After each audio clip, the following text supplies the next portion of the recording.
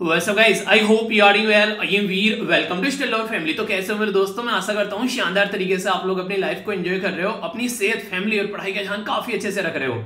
आज है इक्कीस दिसंबर और आज का ये जो डिस्कशन है, बहुत शानदार रहने वाला है। वीडियो को एंड तक सुनना, आप लोग के चक्षु खुल जाएँगे, इतना कुछ आप लोगों को जानने को मिलेगा। वीडियो जो है वो एक घंटे से ज़्यादा की रहेगी, पर लेकिन अगर इसको मन लगाकर सुनोगे ना तो पता नहीं चलेगा, एक घंटा चुटकियों में गिजर जाएगा। इसको अच्छे से सुनिएगा एक एक पॉइंट जो है वो आप लोगों के लिए इस तरीके से इंक्लूड करके लेके आया हूँ। कि चाहे आप लोग का स्टेटिक पोर्शन हो, चाहे करंट पोर्शन हो, सारा आप लोग का यहाँ पर कवर होता हुआ नज़र आएगा। तो इस तरीके से आप लोग इसको लेकर चलेंगे। दो पार्ट में डिवाइड होगी एडिटोरियल होंगे और न्यूज़ एनालिसिस होगा और दोनों के ही दोनों बहुत ज़्यादा इंपॉर्टेंट होने वाले हैं। बहुत कुछ स्टेटिक पोर्सन भी मैं यहाँ पर कवर करूँगा। तो यहाँ पर जो डिस्कस कर रहा हूँ, इसका मतलब ये नहीं कि बस करंट रह गया। अब करंट और स्टेटिक आप लोगों का होता है, इसीलिए आप लोगों को यहाँ पर ये वीडियो इतनी लेंदी देखने को मिलती है। तो काफ़ी कुछ हम लोग यहाँ पर कवर करते हैं। क्वेश्चन भी पूछूँगा आंसर राइटिंग के क्वेश्चन भी दूँगा। यानी कि अगर आप लोग यूपीएससी की तैयारी कर रहे हैं, या फिर किसी भी स्टेट बीसीएस की तैयारी कर रहे हैं, या फिर किसी भी ऐसे एग्ज़ाम की तैयारी कर रहे हैं देश के अंदर में जहाँ पर करंट अफेयर स्टेटिक पूछा जाता है, जो कि पूछा ही जाता है हर एक एग्ज़ाम में, ठीक है? तो आप लोगों को कोई भी दिक्कत देखने को नहीं मिलेगी। क्योंकि मैं यहाँ पर आप लोगों को ऑब्जेक्टिव टाइप क्वेश्चन भी देखने को मिलेंगे आंसर राइटिंग के लिए आप लोगों के मेंस के क्वेश्चन भी देखने को मिलेंगे। किस तरीके से आप लोगों को इंटरव्यू में चीज़ें बतानी चाहिए, उसके बारे में बीच बीच में आप लोगों से बातें करता हूँ। तो पूरा कॉम्प्रीहेंसिव एक आप लोगों की पढ़ाई हो जाती है और वो कैबलरी भी आप लोगों को देखने को मिलती है। तो आप लोगों की इंग्लिश भी इंप्रूव होती है, जिससे कि आप लोग अगर आंसर राइटिंग करना चाहते हैं कि इंग्लिश स्पीकिंग करना चाहते हैं, वो भी आप लोग को यहाँ पर फ़ायदा पहुंचाएगी।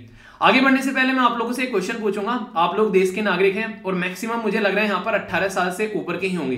अच्छा ये बताइए, कितने ऐसे बच्चे हैं जो 18 साल से नीचे के हैं, वो वीडियो देख रहे हैं? बेसिकली यहाँ पर मैं बात कर रहा हूँ कि उन बच्चों के बारे में जो कि बेसिकली वोटिंग एज के अंदर आ गए हैं, यानी कि जो वोट डालने के लिए कैपेबल है अपने देश में। हम अपने जो बेसिकली मेंबर ऑफ़ पार्लियामेंट या फिर मेंबर ऑफ़ लेजिस्लेटिव असेंबली यानी कि जो विधायक है और जो सांसद है, उनको हम लोग चुन सकते हैं। तो ये तो आप लोगों को बेसिकली आप लोगों को पता है, जब वोट डालने जाते हैं, हम लोग प्राइम मिनिस्टर को या फिर चीफ मिनिस्टर को नहीं चुनते हैं। हम लोग मेंबर ऑफ़ पार्लियामेंट अपने जो सांसद रहते हैं और जो एमएलए जो हमारे विधायक रहते हैं, उनको चुनते हैं। फिर वो आगे चलकर हमारे लिए देश में चीफ मिनिस्टर और प्राइम मिनिस्टर चुनते हैं, अपना जो भी उनको लगता है, अपना लीडर बनाना है। तो ये आप लोगों को देखने को मिलेगा। तो जो वोट का राइट हमको मिला हुआ है, जिसके बेस पर हम लोग वोट डालते हैं तो यहाँ पर आज की डेट में अगर आप लोग के पास में वोटर कार्ड है, एक तरीके से वोटर आईडी कार्ड है तो आप लोग दिखाकर उसको वोट डाल सकते हैं। अभी यहाँ पर बोला गया कि इसके अंदर एक और आइटम ऐड किया जा रहा है कि आप लोग का जो वोटर कार्ड है, वो आधार कार्ड के साथ में कनेक्ट होना चाहिए। और आप लोग को ऑलरेडी ये अधिकार जो मिला हुआ है, ये अगर कोई सिटीजन है देश का तो उसी को मिला है। तो बिना देश का सिटीजन हुए आप लोग वोट नहीं डाल सकते। तो अगर बात करूँगा सिटीजनशिप के बारे में, आप लोग को पता है, संविधान के अंदर जब आप लोग जाते हैं तो यहाँ पर पार्ट सेकंड है, जो कि सिटीजनशिप के बारे में बात करता है। और आर्टिकल पाँच से लेकर आर्टिकल ग्यारह तक आप लोगों को सिटीजनशिप के बारे में यहाँ पर देखने को मिलेगा। अब यहाँ पर अगर आप लोग बेसिकली यहाँ पर जो भी पर्सन है इंडियन सिटीजन है, सबसे पहला तो वो सिटीजन होना चाहिए, दूसरा उसके पास में आधार कार्ड होना चाहिए, तीसरा उसका आधार कार्ड जो है, वो वोटर आईडी कार्ड के साथ में लिंक होना चाहिए, तब जाकर वो पर्सन जो है, वो वोट डाल पाएगा। तो उससे रिलेटेड यहाँ पर ये कार्टून दिखाया गया है। और कार्टून क्यों दिखाया गया? तो इसके बारे में एक आर्टिकल है, जो मैं काफ़ी डिटेल में, काफ़ी अच्छे से आप लोगों को डिस्कस करूँगा अभी उसके बारे में, और फिर आगे भी चलकर काफ़ी कुछ आप लोगों को यहाँ पर चीज़ें देखने को मिलेगी। तो प्यारा आर्टिकल है डिटेल में समझिएगा, पर लेकिन ये कार्टून मैंने इसलिए आप लोगों को दिखाया इस कार्टून के बारे में आप लोग क्या सोचते हैं? अगर आप लोग डिफेंस का तैयारी करते हैं, उसमें इंटरेस्ट आप लोग रखते हैं तो एक पिक्चर परसेप्शन टेस्ट करके आता है, ठीक है? कि किसी पिक्चर को देखकर आप लोग का क्या परसेप्शन बनता है, उसके बारे में कुछ शब्द लिखो। तो इस पिक्चर को देखकर मैं आप लोगों से बोलूँ, क्या शब्द आप लोग लिखोगे? अगर आप लोगों से कोई पूछे तो देखता हूँ कौन कौन क्या शब्द लिखता है। चार, चालीस से पचास शब्द में आप लोग अपनी जो बात है वो रख सकते हैं। हिंदी, इंग्लिश में आप लोग लिख सकते हैं, और भी लैंग्वेज में लिख सकते हैं, पर वो मैं अंडरस्टैंड नहीं कर पाऊँगा उसके लिए सॉरी यार। पर हाँ ये दो लैंग्वेज में आप लोग प्रीफर करिए जो आप लोग लिखना चाहते हैं, ठीक है? तो देखता हूँ ट्राई कीजिए, कोई माँ के पेट से सीख के नहीं आता है, आराम आराम से ट्राई करोगे, ये सारी चीज़ें आप लोग समझ में आने लगेगी और अच्छे से आप लोग इनको इंजॉय भी करने लगोगे। बाकी जिसके बारे में आप लोगों ने थंबनेल देखा होगा, पूरे दिन जो पूरे दिन जिससे देश में जिसके बारे में चर्चा की गई, वो था यहाँ पर सैक्रिलीज तो सैक्रिलीज जो है, अभी रिसेंटली हमारे देश में कुछ इंसिडेंट देखने को मिले। जिसके चलते यहाँ पर ये जो शब्द है, ये न्यूज़ में आ गया है। तो इसके बारे में मैं आप लोगों से कुछ बातें डिस्कस करूँगा। और देखिए, शब्द तो यार सेकेंडरी चीज़ है। बेसिकली मैं यहाँ पर कुछ आप लोगों से इस तरीके से बातें करना चाहता हूँ कि जिस तरीके की सोसाइटी में हम लोग रहते हैं। यहाँ पर हर एक कास्ट हर एक रिलीजन हर एक अलग अलग रीजन के लोग रहते हैं। तो हमारा देश एक ऐसा डाइवर्स सोसाइटी है हमारे देश में, जिसमें आप लोगों ने सुना होगा कि यूनिटी इन डाइवर्सिटी तो इस तरीके की सोसाइटी में हम लोग रहते हैं। तो इस तरीके की सोसाइटी में हम सबको मिलजुल के रहना है और वही यहाँ पर इसी तरीके से हम लोग यहाँ पर सर्वाइव कर पाएँगे। वरना अगर मैं आप लोगों को एक छोटी सी बात बताऊँ, जब अंग्रेज़ यहाँ से छोड़कर हमारे देश को जा रहे थे और हमारे देश के जो स्वतंत्रता सेनानी थे फ्रीडम फाइटर थे, उनके द्वारा हमारे देश को जब यूनाइट किया जा रहा था तो जो वेस्टर्न वर्ल्ड है, यानी कि जैसे यूएसए हो गया यूरोप हो गया, इनका ये मानना था कि जैसे यहाँ से हम लोग निकलेंगे यहाँ जैसे यहाँ से यूके निकलेगा, यानी कि अंग्रेज़ निकलेंगे, ये देश जो है फिर से छोटे छोटे पार्ट में डिवाइड हो जाएगा, और ये देश जो है वो कभी भी सरवाइव नहीं कर पाएगा। इतने सारे डिवीज़न है इस देश के अंदर में। ये बातें आप लोगों को पता होगी, आप लोगों ने अगर एनसीआरटी पढ़ी है। ये बातें आज की डेट में अगर हम लोग बात करें, हम लोगों ने उनको गलत प्रूफ किया कि भाई साहब कुछ भी हो जाए। हमारा देश ना ऐसा कैसे रहने वाला है, और हम लोग ऐसे के ऐसे ही टिके हुए हैं। अभी आप लोगों को पता है, हम लोग कितने लंबे समय से अपने देश को सहज कर लेकर चल रहे हैं। पर लेकिन फिर भी कुछ चीज़ें ऐसी सोसाइटी में देखने को मिलती है, जिसके चलते कई बार ऐसे इशू निकल कर आ जाते हैं। वरना यह लगा था कि लगभग साढ़े पाँच सौ से ज़्यादा राजा रजवाड़ों को मिलाकर जब हम लोगों ने एक देश बनाया तो किसी को, किसी ने सपने में भी नहीं सोचा था कि यह देश जो है एक देश की तरीके से आगे बढ़ने वाला है। पर लेकिन हमारा संविधान जो है, वो इस तरीके से बनाया गया कि उसने हमको सबको एक माला में पिरो कर रखा और अलग अलग रिलीजन अलग अलग कास्ट अलग अलग रीजन अलग अलग बोली अलग अलग कल्चर के लोग होते हुए भी हम सब मिलकर अपनी लाइफ को एंजॉय कर रहे हैं।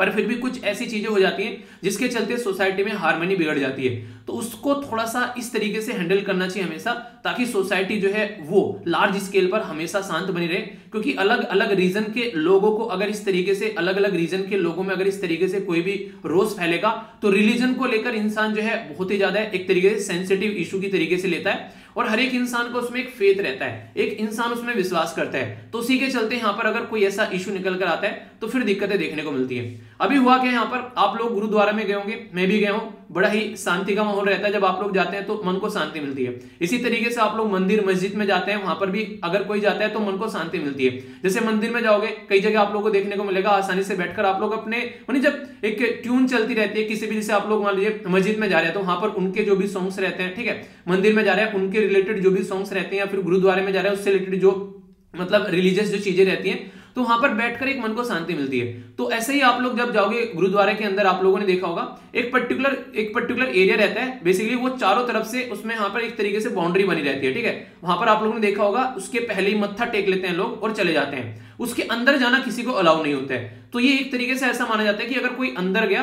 तो कहीं ना कहीं एक तरीके से नहीं, वो एक नेगेटिव तरीके से उसको देखा जाता है। एक रिलीजियस एक पवित्रता एक तरीके से मानी जाती है। थोड़ा सा डिफरेंस बनाकर रखने की कोशिश की जाती है। लेकिन यहाँ पर ये जो पर्सन था, कुछ ऐसी चीज़ें देखने को मिली यहाँ पर कि वो वो जो लाइन है, वो क्रॉस कर दी गई। तो उसके चलते यहाँ पर अब आप लोगों को पता है कोई किसी पर्टिकुलर रिलीजन में अगर फेथ रख रहा है और वहाँ पर कुछ गलत हो जाए तो इंसानों का गुस्सा जो है, वो किस लेवल पर फूट कर आता है? तो कुछ ऐसी चीज़ें यहाँ पर देखने को मिली। तो यहाँ पर आप लोगों ने अब तक मोब लिंचिंग के बारे में सुना है, ठीक है? कि मिलकर मोब जो है, वो मार देती है किसी पर्टिकुलर पर्सन को, वो एक अलग मुद्दा हो जाता है। लिंचिंग का मतलब होता है एक तरीके से किसी को पर्सन को मार देना। तो उसके साथ में कई सारे बच्चे पूछ रहे थे सर, ये मोब लिंचिंग होती है नहीं यार, ये मोब लिंचिंग नहीं है, वो तो कोई भी अलग इश्यू हो सकता है, जिसमें सोसाइटी को गुस्सा आ गया, उन्होंने किसी को मार दिया। यहाँ पर क्या होता है, ये बेसिकली रिलीजन से रिलेटेड है। अपना रिलीजन हो गया या फिर अपना एक पर्टिकुलर नहीं, कोई किसी चीज़ में विश्वास करता है। जैसे अलग अलग लोग अलग अलग चीज़ों में विश्वास करते हैं तो सबके अलग अलग तरीके हैं अपने अपने जो बेसिकली भगवान, अल्लाह, गोड, जो भी आप लोग बोलो उसको मानने के। किसी के पास में गुरु ग्रंथ साहिब है तो किसी के पास में गीता है। किसी के पास में कुरान है तो किसी के पास में बाइबल है। तो ये सारे पवित्र ग्रंथ है। अगर कोई भी इनका किसी भी तरीके से इंसल्ट कर रहा है तो ये सोसाइटी के लिए काफ़ी ज़्यादा एक तरीके से रोस वाली बात हो जाती है। तो उसी में से यहाँ पर जो वर्ड निकाल के लाए गए दो शब्द मैं आप लोगों को बताऊँगा। जो इंपॉर्टेंट है, जिनको आप लोगों को समझना पड़ेगा और आप लोग इनको कई बार पाओगे भी न्यूज़पेपर में और अलग अलग जगह पर। सबसे पहला जो शब्द है यहाँ पर, ये सैक्रिलीज सैक्रिलीज का मतलब ये होता है एक तरीके से अपवित्रीकरण करना, यानी कि किसी चीज़ को अपवित्र कर देना। मतलब जिसको ना ये काम करना चाहिए, उससे वो काम कराना, जिसके चलते ये माना जाता है कि अगर कोई इस काम को करेगा तो ये अपवित्र हो जाएगा। यानी कई बार आप लोगों ने देखा होगा, कई बार जो धर्म की किताबें होती हैं, उनको फाड़ दिया जाता है, जला दिया जाता है। तो एक तरीके से उस धर्म को ठेस पहुँचाने वाली बात आप लोगों को यहाँ पर देखने को मिलेगी। अब ये जो जब शब्द है सैक्रिलीज यहाँ पर ये दो तरीके से हो सकता है। एक तो सैक्रिलीज आप लोगों ने कर दिया, एक तरीके से अपवित्रीकरण कर दिया। किसी धर्म के बारे में अपने मुँह से कुछ बातें बोल के मतलब कि उसके बारे में कुछ उल्टी सीधी बातें बोल दी धर्म के बारे में तो वो आप लोगों को सैक्रिलीज देखने को मिल गया। एक होता है फ़िज़िकल फॉर्म में आप लोगों ने कुछ कर दिया। यानी एक तरीके से कुछ किताबों को छेड़ दिया, कुछ इस तरीके से चीज़ें कर दिया, फिर कुछ भी इस तरीके से आप लोगों ने कोई काम किया फ़िज़िकल फॉर्म में, जो कि यहाँ पर नहीं करना चाहिए था। तो दूसरा आप लोगों को ये देखने को मिलेगा। तो दोनों के अलग अलग शब्द यूज़ किए जाते हैं। अगर आप लोग बोलकर किसी की ईर्षा निंदा करते हैं तो यहाँ पर इसको ब्लास्ट फैमी बोलते हैं, ठीक है? पर लेकिन अगर आप लोग फ़िज़िकल फॉर्म में कुछ ऐसा करते हैं, उसको जो डेसिक्रेशन बोलते हैं तो ये सैक्रिलीज को ही दो पार्ट में डिवाइड किया गया है। वर्बल एक तरीके से कोई कर रहे हैं और फ़िज़िकल फॉर्म में कर रहे हैं। तो ये आप लोगों को यहाँ पर देखने को मिलेगा। तो ये मैंने इतना डिटेल में क्यों पढ़ा? क्योंकि कल को चलकर अगर एग्ज़ाम में आप लोगों से क्वेश्चन भी पूछ लिया है और वहाँ पर ऐसा कोई शब्द दे रखा है कि इसका मतलब क्या होता है और आप लोगों से ऑप्शन में पूछ ले या फिर आंसर राइटिंग में क्वेश्चन फ्रेम किया जाए तो आप लोगों को अगर शब्द का मतलब ही नहीं पता है तो आप लोग क्या बोल, क्या लिखोगे वहाँ पर? ठीक है? तो इसलिए ये ज़रूरी है यहाँ पर तो इसको आप लोगों को समझना पड़ेगा। ठीक है? जिस तरीके से सैक्रिलीज हो गया अपवित्र, इसी के साथ में अगर इसके अपोजिट में आप लोग जाएँगे तो इसके अपोजिट में आप लोगों से पूछ ले कि इसका एक तरीके से अपोजिट शब्द क्या होगा तो आप लोग क्या बोलेंगे? तो आप लोग यहाँ पर अगर बात करें तो एक तरीके से रेस्पेक्ट हो गया फेथ हो गया, आप लोग उसको बोल सकते हैं, ठीक है? तो यानी कि अपोजिट में बोले अगर क्या होगा तो रेस्पेक्ट फेथ काइंडनेस वो सारी चीज़ें वर्शिप तो ये आप लोग को इस कैटेगरी में आप लोग को देखने को मिलेगी, ठीक है? तो ये कुछ ऐसे शब्द हैं जिनके बारे में आप लोगों को क्लियरिटी रहेगी तो एग्ज़ाम में अगर क्वेश्चन बनता है तो आप लोग उसका आंसर यहाँ पर दे पाएँगे। तो ये बातें थी। तो अभी कई सारे ऐसे इश्यूज़ बन गए, जिसके चलते ये और ज़्यादा बढ़ गया। देखिए, अगर बात करें ना, पंजाब में आप लोगों ने पहले से सुना होगा, खालिस्तान मूवमेंट के बारे में बात की जाती है कि एक अलग से अलग से पंजाब बनाने की बातें की जाती हैं। तो उसके चलते कई बार ऐसा लगता है कि धर्म के नाम पर अगर कुछ मतलब एक तरीके से कुछ भी गलत सोसाइटी में हो जाएगा तो लोगों में डिविजन हो जाएगा तो फिर आगे चलकर इस तरीके की चीज़ें की जा सकती हैं। आप लोगों ने देखा, तेलंगाना के अंदर आंध्र प्रदेश से अलग निकालकर अलग राज्य बनाया गया। तो सारी चीज़ें तब होती है जब कोई प्रोटेस्ट होता है। लंबे समय तक प्रोटेस्ट किया, अलग राज्य बन गया। तो लोगों को यह समझ में आ गया कि कहीं ना कहीं अगर कुछ छेड़खानी की जाएगी सोसाइटी में कुछ अलग चीज़ें, गलत चीज़ें देखने को मिलेगी तो उससे क्या होता है, उससे उनकी जो मनसाएँ हैं वो फिर पूरी की जा सकती है कि अलग राज्य बना देना, ठीक है? अलग से चीज़ों को डिवाइड कर देना। तो सोसाइटी में डिविजन का काम करते हैं जब भी ये चीज़ें आप लोगों को देखने को मिलेगी। तो इन सब चीज़ों को रोकने के लिए यहाँ पर पंजाब के अंदर में Indian penal code Punjab amendment bill लेकर आया गया। ताकि अगर कोई भी किसी भी जो धर्म से रिलेटेड किताबें हैं, उनका कोई भी गलत तरीके से उनके ऊपर कुछ कटास कटेगा या कुछ करेगा तो उसके लिए सजा यहाँ पर सुनाई जाएगी। तो इसके चलते यहाँ पर बोला भी गया कि अमेंडमेंट करना पड़ेगा इंडियन पिनल कोड भारतीय दंड संहिता का, जो सेक्शन 295 ए है, कि यार इसके अंदर चेंज करके लाओ। और मैक्सिमम जो यहाँ पर पनिशमेंट की बात की गई थ्री ईयर ठीक है? तो विदाउट फाइन है, अगर बात करें इसके अंदर में, पर इनके द्वारा और भी चीज़ों को बढ़ाने की बात की जा रही है कि पनिशमेंट जो है यहाँ पर आप लोग क्या करें, अगर कोई इंसल्ट करे तो दो से लेकर दस साल का आप लोग को देखने को मिलेगा। तो अब इंडियन पिनल कोड को अगर आप लोग यहाँ पर चेंज करते हैं तो उसके अंदर बात की जा रही है, कोई किसी भी तरीके से, कोई बोलकर उसको साइन को दिखाकर किसी भी तरीके से अगर कुछ ऐसी चीज़ें करता है, क्योंकि हमारी सोसाइटी एक मल्टी रिलीजियस सोसाइटी है। यहाँ पर ऐसी चीज़ें नहीं देखनी चाहिए, मिलनी चाहिए, ठीक है? तो फाइव जज की बेंच के द्वारा यहाँ पर इसको कॉन्स्टिट्यूशनली वैलिड भी बताया गया कि रिलीजन के नाम पर कोई भी सोसाइटी में अगर गलत चीज़ें होगी तो दिक्कतें देखने को मिलेगी। और रिलीजन मैंने आप लोगों को बताया भी था, अगर संविधान के अंदर आप लोग जाओगे तो आर्टिकल 25 से लेकर आर्टिकल 28 तक, ये हर एक इंडिविजुअल पर्सन का फंडामेंटल राइट है रिलीजन तो ये आप लोग याद रखिएगा। और फंडामेंटल राइट के बारे में जब मैं आप लोगों से बात करता हूँ तो ये नॉर्मली स्टेट जो होता है ना, यानी कि जो गवर्नमेंट होती है, उसके खिलाफ अगर कोई कुछ गलत करता हुआ पाया जाता है मतलब स्टेट गवर्नमेंट क्या करे? सप्रेस करने की कोशिश करने लगे लोगों को, ठीक है? तो नॉर्मली उसके खिलाफ यहाँ पर यूज़ किया जाता है। तो ये एक ऐसी सेंटेंस है जो कि आप लोगों से आंसर राइटिंग में आप लोगों से यूज़ कर सकते हैं। कि किस तरीके से हमारे देश में जो फंडामेंटल राइट मिले हुए वो मैक्सिमम इनका पोर्सन ये रहता है कि स्टेट गवर्नमेंट जो है, यानी कि एक तरीके से स्टेट गवर्नमेंट का मतलब जो स्टेट शब्द यूज़ किया गया उसमें संविधान में जगह जगह उसका मतलब गवर्नमेंट होता है। तो वहाँ पर सेंट्रल गवर्नमेंट भी हो सकती है और स्टेट गवर्नमेंट भी हो सकती है कि वो जनता को सप्रेस ना करे। तो उससे प्रोटेक्शन के लिए यहाँ पर ही रहता है। इसीलिए हमारे संविधान के अंदर आप लोगों को पता है कि सेक्युलरिज्म का कॉन्सेप्ट ऐड किया गया। याद है ना कब ऐड किया गया? पूरा आप लोग को डिटेल में मैंने पढ़ाया था। यहाँ पर सेक्युलरिज्म का कॉन्सेप्ट यहाँ पर ऐड किया गया हमारे प्रियम्बल के अंदर में ठीक है? प्रियम्बल मैंने अलग से पूरा पोलिटी में चैप्टर पढ़ा रखा है जाकर सर्च कर लीजिए एक बात छोटी सी और आप लोग को बोलना चाहूँगा। एक बच्चा बोला था कि सर पोलिटी कहाँ से पढ़ूं? तो देखिए कई सारे बच्चे नए नए आते हैं ठीक है? उनको पता नहीं रहता है। अगर किसी को ऐसा लग, किसी को लगता है कि यार उसको मतलब पता नहीं है तो आप लोग उसको बता दिया करिए। उससे क्या होता है एक सामने वाले को कुछ फ़ायदा हो जाएगा ठीक है? अगर उसको मतलब फ्री में सारे लेक्चर पोलिटी के मिल जा रहे हैं तो इसमें आप लोग का भी कुछ नुकसान नहीं होगा। तो ये चीज़ें इस तरीके से बता दिया करो। तो उससे क्या होगा? और आप लोग भी, जहाँ भी आप लोगों को डाउट लगे पोलिटी में, किसी भी चैप्टर के अंदर में, तुरंत सर्च कर लीजिए, उसके सामने बाई वीर लिख देना, ठीक है? वो चैप्टर खुलकर आप लोग आ जाएगा, क्योंकि इसमें यहाँ पर डिटेल में सारी चीज़ें आप लोग को पढ़ा रखी है, कोई भी कंफ्यूजन आप लोग को देखने को मिलेगा, उसको आप लोग जाकर ज़रूर देखेगा ठीक है? आगे बढ़ते हैं यहाँ पर। इसी के साथ में जो मैंने बताया आप लोगों से यहाँ पर ये तीन जो मुद्दे हैं मैं आप लोगों से डिटेल में डिस्कस करूँगा यहाँ पर, ठीक है? पहला होगा यहाँ पर लोकसभा में पास किया गया बिल लिंक करने के लिए, जो इलेक्ट्रोल है, यहाँ पर इलेक्ट्रोल है, उसी के साथ में आधार कार्ड को लिंक किया जा रहा है, जो भी मैंने कार्टून दिखाया। एक काफ़ी इंपोर्टेंट मुद्दा यहाँ पर यह कश्मीर के अंदर अभी बात की जा रही है डिलिमिटेशन कमीशन की। तो इसके लिए हमारी कंट्री में एक कमेटी भी सेटअप की गई थी, डिलिमिटेशन कमीशन बेसिकली यहाँ पर बनाया गया। ये रंजन देसाई, जो कि रिटायर्ड जो बेसिकली यहाँ पर जज है, इनकी अध्यक्षता में। तो इसके बारे में मैं आप लोगों से डिस्कस करूँगा।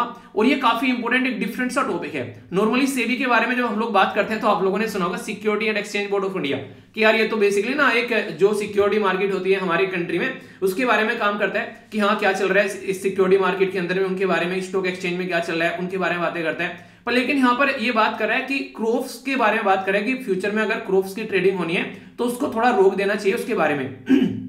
तो क्या सेबी के पास में ये पावर है? ऐसे क्वेश्चन आप लोगों से एग्ज़ाम में बनेंगे। तो ये टॉपिक काफ़ी इंपॉर्टेंट है, इसको भी मैं कवर करूँगा। आप लोगों को सुनकर मज़ा आ जाएगा कि क्या डिफरेंट चीज़ें फिर बोलते हो एग्ज़ाम में क्वेश्चन कहाँ से आ गया? तो वैसा भी यहाँ से आ गया। थोड़ा सा भी ध्यान से सुनोगे ना तो एक एक क्वेश्चन का आंसर दोगे, इसलिए चीज़ों को थोड़ा सा ध्यान से सुनिएगा, ठीक है? तो ये काफ़ी इंपॉर्टेंट पॉइंट है जिनको मैं डिस्कस करूँगा, इसको भी डिटेल में डिस्कस करूँगा, ये वाला भी और ये वाला भी। तो इसलिए बोला था मैंने न्यूज़ एनालिसिस और एडिटोरियल सारे इंपॉर्टेंट है डिटेल में जानेंगे, ठीक है? अब यहाँ पर बात करता हूँ एक बार आप लोगों से एडिटोरियल के बारे में, फिर चीज़ों को एक एक कर कर आप लोगों से आगे अच्छे से एक एक पॉइंट में कवर करता चलूँगा। पेन और कॉपी लेकर बैठ जाएगा अगर कोई दिक्कत होगी तो वो चीज़ें आप लोग नोट डाउन भी करते रहना, ठीक है? ये जो आर्टिकल है यहाँ पर, ये इसी के साथ में एक ये वाला आर्टिकल ये कंबाइन करके डिस्कस करूँगा। बेसिकली अफ़गानिस्तान पे फोकस दे रखे हैं। पहले वाला आर्टिकल इंडिया का रिलेशन कैसा होना चाहिए सेंट्रल एशिया के साथ में, और किस तरीके से अफ़गानिस्तान में शांति बनानी है। उन दोनों मुद्दों के बारे में बात की जा रही है तो यहाँ पर मिक्स कर कर मैं इनको डिस्कस करने वाला हूँ। सारी चीज़ें आप लोग अच्छे से समझ पाएँगे। आज का one of the best article जो मुझे यहाँ पर देखने को मिला, वो है यहाँ पर ये। फेडरलिज्म के बारे में बात की जा रही है, संघवाद का ढांचा और सेंटर और स्टेट के रिलेशन कैसे होने चाहिए और किस तरीके से चीज़ें अभी बढ़ी हैं। फोकस हालाँकि यहाँ पर फाइनेंशियल एक तरीके से फ़िज़िकल एरिया पर है, पर लेकिन हम लोग समझेंगे पूरा कि क्या फ़िज़िकल फेडरलिज्म होता है, सारी बातें समझेंगे तो कुछ कॉन्सेप्ट आप लोग यहाँ पर जानने को मिलेंगे। काफ़ी डिटेल में आप लोग इसको समझ भी पाएँगे, ठीक है? ताकि आप लोग के माइंड में कोई भी कंफ्यूजन देखने को ना मिले। बेसिकली उस तरीके से मैं यहाँ पर ये सारी चीज़ें कवर करूँगा। एक एक पॉइंट आप लोग बिल्कुल माइंड में क्लियर रखेंगे, ठीक है? इसी के साथ में जो यहाँ पर अगर ये वाला आर्टिकल जो आप लोगों से बातें करेंगे, ये वाला आर्टिकल ठीक है? तो ये वाला आर्टिकल सोसाइटी में इनिक्वलिटी के बारे में बात करें और ये वाला आर्टिकल ये भी बेसिकली कोविड नाइन्टीन के बारे में है तो कोविड नाइन्टीन के चलते सोसाइटी में क्या इनिक्वलिटी देखने को मिल रही है? तो उनके बारे में यहाँ पर ये बात किया जा रहा है, ठीक है? तो हालाँकि ये सारी जो पॉइंट्स हैं, ये बहुत ज़्यादा आप लोगों ने रिपीटेडली इनको देखा होगा कि कोविड 19 आ गया, उसकी वजह से बहुत सारे लोगों की जॉब चली गई, बहुत सारे लोगों के घरों में लोगों की डेथ हो गई, उसकी वजह से लोगों के अंदर काफ़ी ज़्यादा इनिक्वलिटी यानी कि कोई अमीर है तो अमीर होता जा रहा है और कोई गरीब है तो गरीब होता जा रहा है। वो सारी दिक्कत देखने को मिलेंगी। बहुत सारे बच्चे जो थे, वो अनाथ हो गए। तो इसके चलते जो इकोनॉमी थी, उसकी खस्ता हालत हो गई है। हर एक सेक्टर में लोगों को निकाला गया। बहुत से लोगों की जॉब चली गई और जिसकी जॉब नहीं गई, उसकी सैलरी डिक्रीज हो गई। बहुत ही ज़्यादा। कि वो सर्वाइव करना भी मुश्किल हो जाए। लोग डिप्रेशन में आकर अपना एक तरीके से ऐसे ऐसे भी स्टेप उठाएँगे कि काफ़ी सारे लोगों के द्वारा आत्महत्या यानी कि सुसाइड किया गया। तो बहुत सारे ऐसे इश्यूज़ यहाँ पर देखने को मिलते हैं। तो सोसाइटी में भी अलग अलग देश में अलग अलग इंपैक्ट पड़ेगा। मान लीजिए कोई पर्सन ऐसा है, अगर आज के डेट में आप लोगों से बात करें कि वो पर्सन जो है, वो इंडिया का रहने वाला है, ठीक है? कोई पर्सन ऐसा है जो कि अफ्रीका कॉन्टिनेंट के अंदर रहने वाला है, कोई ऐसा है जो अमेरिका के अंदर रहने वाला है तो हर एक एरिया में अलग अलग इंपैक्ट आप लोगों को पड़ता हुआ नज़र आएगा कि एक रशिया का इंसान है, उसके पास में अलग इंपैक्ट पड़ेगा, अफ्रीका का है, उसके पास में अलग इंपैक्ट पड़ेगा यूएसए का है, अलग इंपैक्ट पड़ेगा, क्यों? हर एक देश की इकोनॉमी जो है वो अलग अलग है तो इस तरीके से हर एक एरिया में अलग अलग इंपैक्ट इनका पड़ता हुआ नज़र आएगा। तो ये बातें यहाँ पर समझाने की कोशिश की गई कि इनइक्वलिटी जो है वो सोसाइटी में बढ़ रही है तो उसको आगे आकर सबको उसके साथ में टैकल करना पड़ेगा, ठीक है?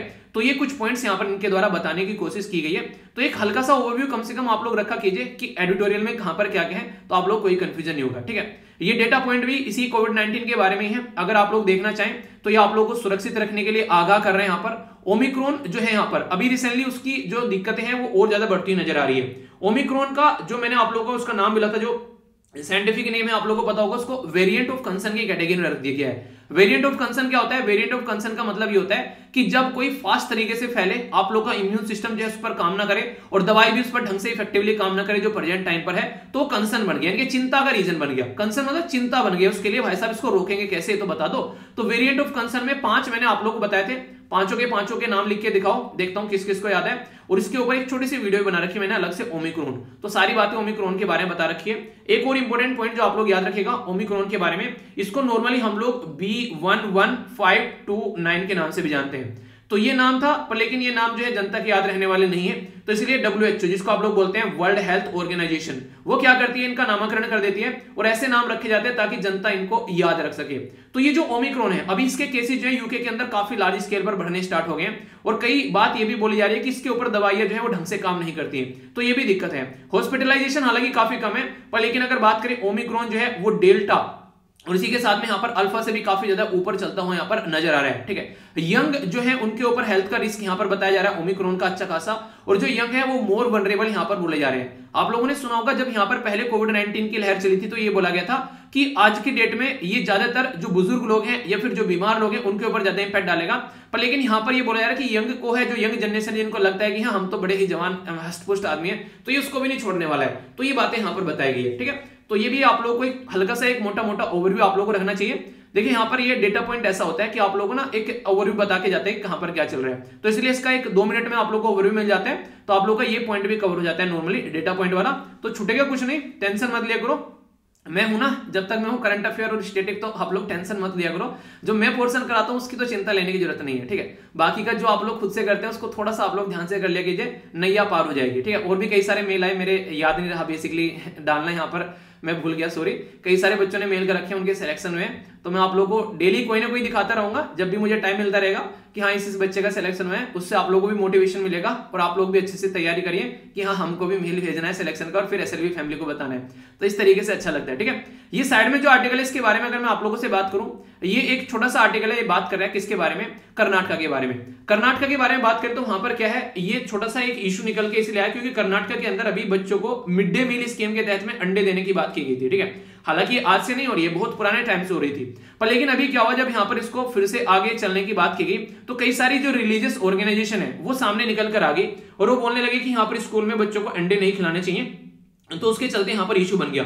तो जो यहाँ पर ये इशू बन गया तो इसके चलते जो यहाँ पर हेल्थ के एक्सपर्ट थे, जो खासकर हेल्थ के फ़ील्ड में काम करते हैं, उनको लगा यार ये तो बड़ी गलत बात हो रही है यहाँ पर। मतलब बच्चों को अंडे नहीं खिलाने दिए जा रहे हैं, बच्चे ऑलरेडी कुपोषण का शिकार हो रहे हैं। और यहाँ पर अंडा जो अगर मिलेगा तो कम से कम उनका जो प्रोटीन लेवल है कुछ बढ़ेगा और उनकी बॉडी थोड़ी बेटर रहेगी। आप लोगों को बता दू इन्फॉर्मेशन के लिए, आप लोग अगर अंडा खाते हैं तो आप लोगों को अगर अंडे का, आप लोगों को जो प्रोटीन बॉडी की रिक्वायरमेंट जो होती है तो आप लोगों की बॉडी के वेट के हिसाब से होती है। अगर आप लोग का जो वेट है, वो अगर पैंसठ किलोग्राम है तो आप लोगों को लगभग पूरे दिन में ये माना जाता है कि पैंसठ ग्राम, यानी कि 65 ग्राम आप लोग का प्रोटीन आप लोग को लेना चाहिए। तो इस तरीके से आप लोग अंडरस्टैंड कर सकते हैं। और एक अंडा, जो आप लोग एक एग खाते हैं ना, उसके अंदर पाँच से छह ग्राम नॉर्मली प्रोटीन माना जाता है, जो एक अंडा ठीक ठाक रहता है, ठीक है? पाँच से छह या चार से पाँच वो तो साइज़ के ऊपर डिपेंड करता है। तो ये प्रोटीन का एक सस्ता सोर्स माना जाता है, जो कि यहाँ पर बच्चों को प्रोवाइड कराया जाता है, क्योंकि आज के डेट में दालें भी आप लोग देखोगे तो काफ़ी महँगी हो गई है। पर लेकिन अंडे को सस्ता सोर्स की तरीके से यहाँ पर देखते हैं। पर लेकिन आज के डेट में अंडे का प्राइस भी है आप लोगों को देखने को मिलेगा, वो भी काफ़ी ऊपर नीचे होता रहता है, खासकर सर्दियों में इसका प्राइस बढ़ जाता है, ठीक है? और अलग अलग एरिया में अलग अलग प्राइस देखने को मिलेगा। अगर आप लोग एग खाते हैं तो आप लोग बता सकते हैं कि आप लोग एरिया में क्या प्राइस है और आप लोग देखेगा अलग अलग एरिया में इसका अलग अलग प्राइस देखने को मिलेगा। तो इससे क्या है बेसिकली जहाँ पर बच्चों को खाना नहीं मिल रहा है ढंग से घर पर और यहाँ पर स्कूल में वो जाते हैं तो मिड डे मील स्कीम रहती है, जिसके चलते इनको खाना प्रोवाइड कराया जाता है। अब उस मिड डे मील स्कीम में अगर इनको अंडा मिल रहा है और वो उसको चाव से खा रहे हैं, खुश होकर खा रहे हैं तो खुश भी है, उसकी वजह से भी इनकी बॉडी अच्छी रहेगी और ऊपर से प्रोटीन मिल रहा है, उससे अच्छी रहेगी। बीच में दूध वगैरह भी दिए जाते हैं तो यहाँ पर ये काफ़ी लंबे समय से चीज़ें चली हुई यार थी पर लेकिन अभी यहाँ पर जब रिलीजियस मुद्दा बना दिया गया, यहाँ पर कि बच्चों को अंडे नहीं खिलाना है वो सारी बातें तो उससे दिक्कतें यहाँ पर देखने को मिली। जबकि इंपॉर्टेंट बात यहाँ पर यह जो मुझे बड़ी ही एक डिफरेंट सी बात भी लगी यहाँ पर, कि डिपार्टमेंट ऑफ़ प्राइमरी और सेकेंडरी जो एजुकेशन है, यानी कि हमारी कंट्री में जो एजुकेशन सेक्टर है उन्हीं ने खुद इसके ऊपर एनालिसिस किया और बोला कि बच्चों को एग खिलाने चाहिए, क्योंकि उनसे उनका प्रोटीन का लेवल बढ़ेगा, उनकी सोचने समझने की क्षमता बढ़ेगी और अच्छे लेवल पर वो अपनी पढ़ाई पर फोकस कर पाएँगे। क्योंकि बहुत सारे बच्चे ऐसे हैं जिनकी इम्यूनिटी भी वीक है। बहुत सारे ऐसे बच्चे हैं जो कि आज के दिन में मेल न्यूट्रिशन यानी कुपोषण का स्वीकार भी है। किसी का वेट ज़्यादा है, किसी का सॉरी वेट ज़्यादा तो कम का ही है। किसी का वेट काफ़ी ज़्यादा कम है, कुपोषण के शिकार हो रखे हैं। हाइट ठीक है, पर लेकिन वेट काफ़ी कम आप लोगों को देखने को मिलेगा, ठीक है? तो कई बार ऐसे इश्यूज़ आप लोगों को देखने को मिल जाते हैं। और कई सारे ऐसे भी लोग आप लोगों को देखने को मिलेंगे जो एग वगैरह नहीं खाते हैं तो फिर उनका क्या किया जाए? तो उनके लिए ऑल्टरनेटिव सोर्स लेकर आओ प्रोटीन का, ताकि उनको प्रोटीन मिल जाए। पर लेकिन एग जो है वो सस्ता सोर्स माना गया तो इसके चलते यहाँ पर ये लग रहा है कि एग डे जो दिन होता था, उस दिन स्कूल में बच्चों की संख्या भी बढ़ जाती है। इसका मतलब ये बच्चे उसमें इंटरेस्टेड है। जब बच्चे इंटरेस्टेड है, और यहाँ पर गवर्नमेंट भी मतलब जो डिपार्टमेंट है एजुकेशन का, वो भी चाह रहा है इंटरेस्टेड है तो फिर अब गवर्नमेंट के द्वारा ये अलग से स्टेप उठाना कि नहीं, अब हम लोग एग प्रोवाइड नहीं कराएँगे। तो ये एक गलत स्टेप यहाँ पर होगा। बच्चों को ध्यान में रखते हुए अगर हम लोग चलते हैं। तो यहाँ पर यह माना गया कि अभी बात करें तो यहाँ पर 32 प्रतिशत कर्नाटक के जो बच्चे हैं, वो अंडरवेट हैं आज की डेट में, ठीक है? 35 प्रतिशत स्टंटेड है और 19 प्रतिशत यहाँ पर आप लोग को वेस्टर्न नज़र आएँगे। तो कर्नाटक के अंदर ये सारी चीज़ें तो बोला कि ऑलरेडी ये सारे इश्यूज़ आप लोग देख रहे हो, फिर भी ऐसी हरकतें कर रहे हो तो ये गलत चीज़ें हैं। तो इसके बारे में यहाँ पर ये बातें बताई गई, ठीक है?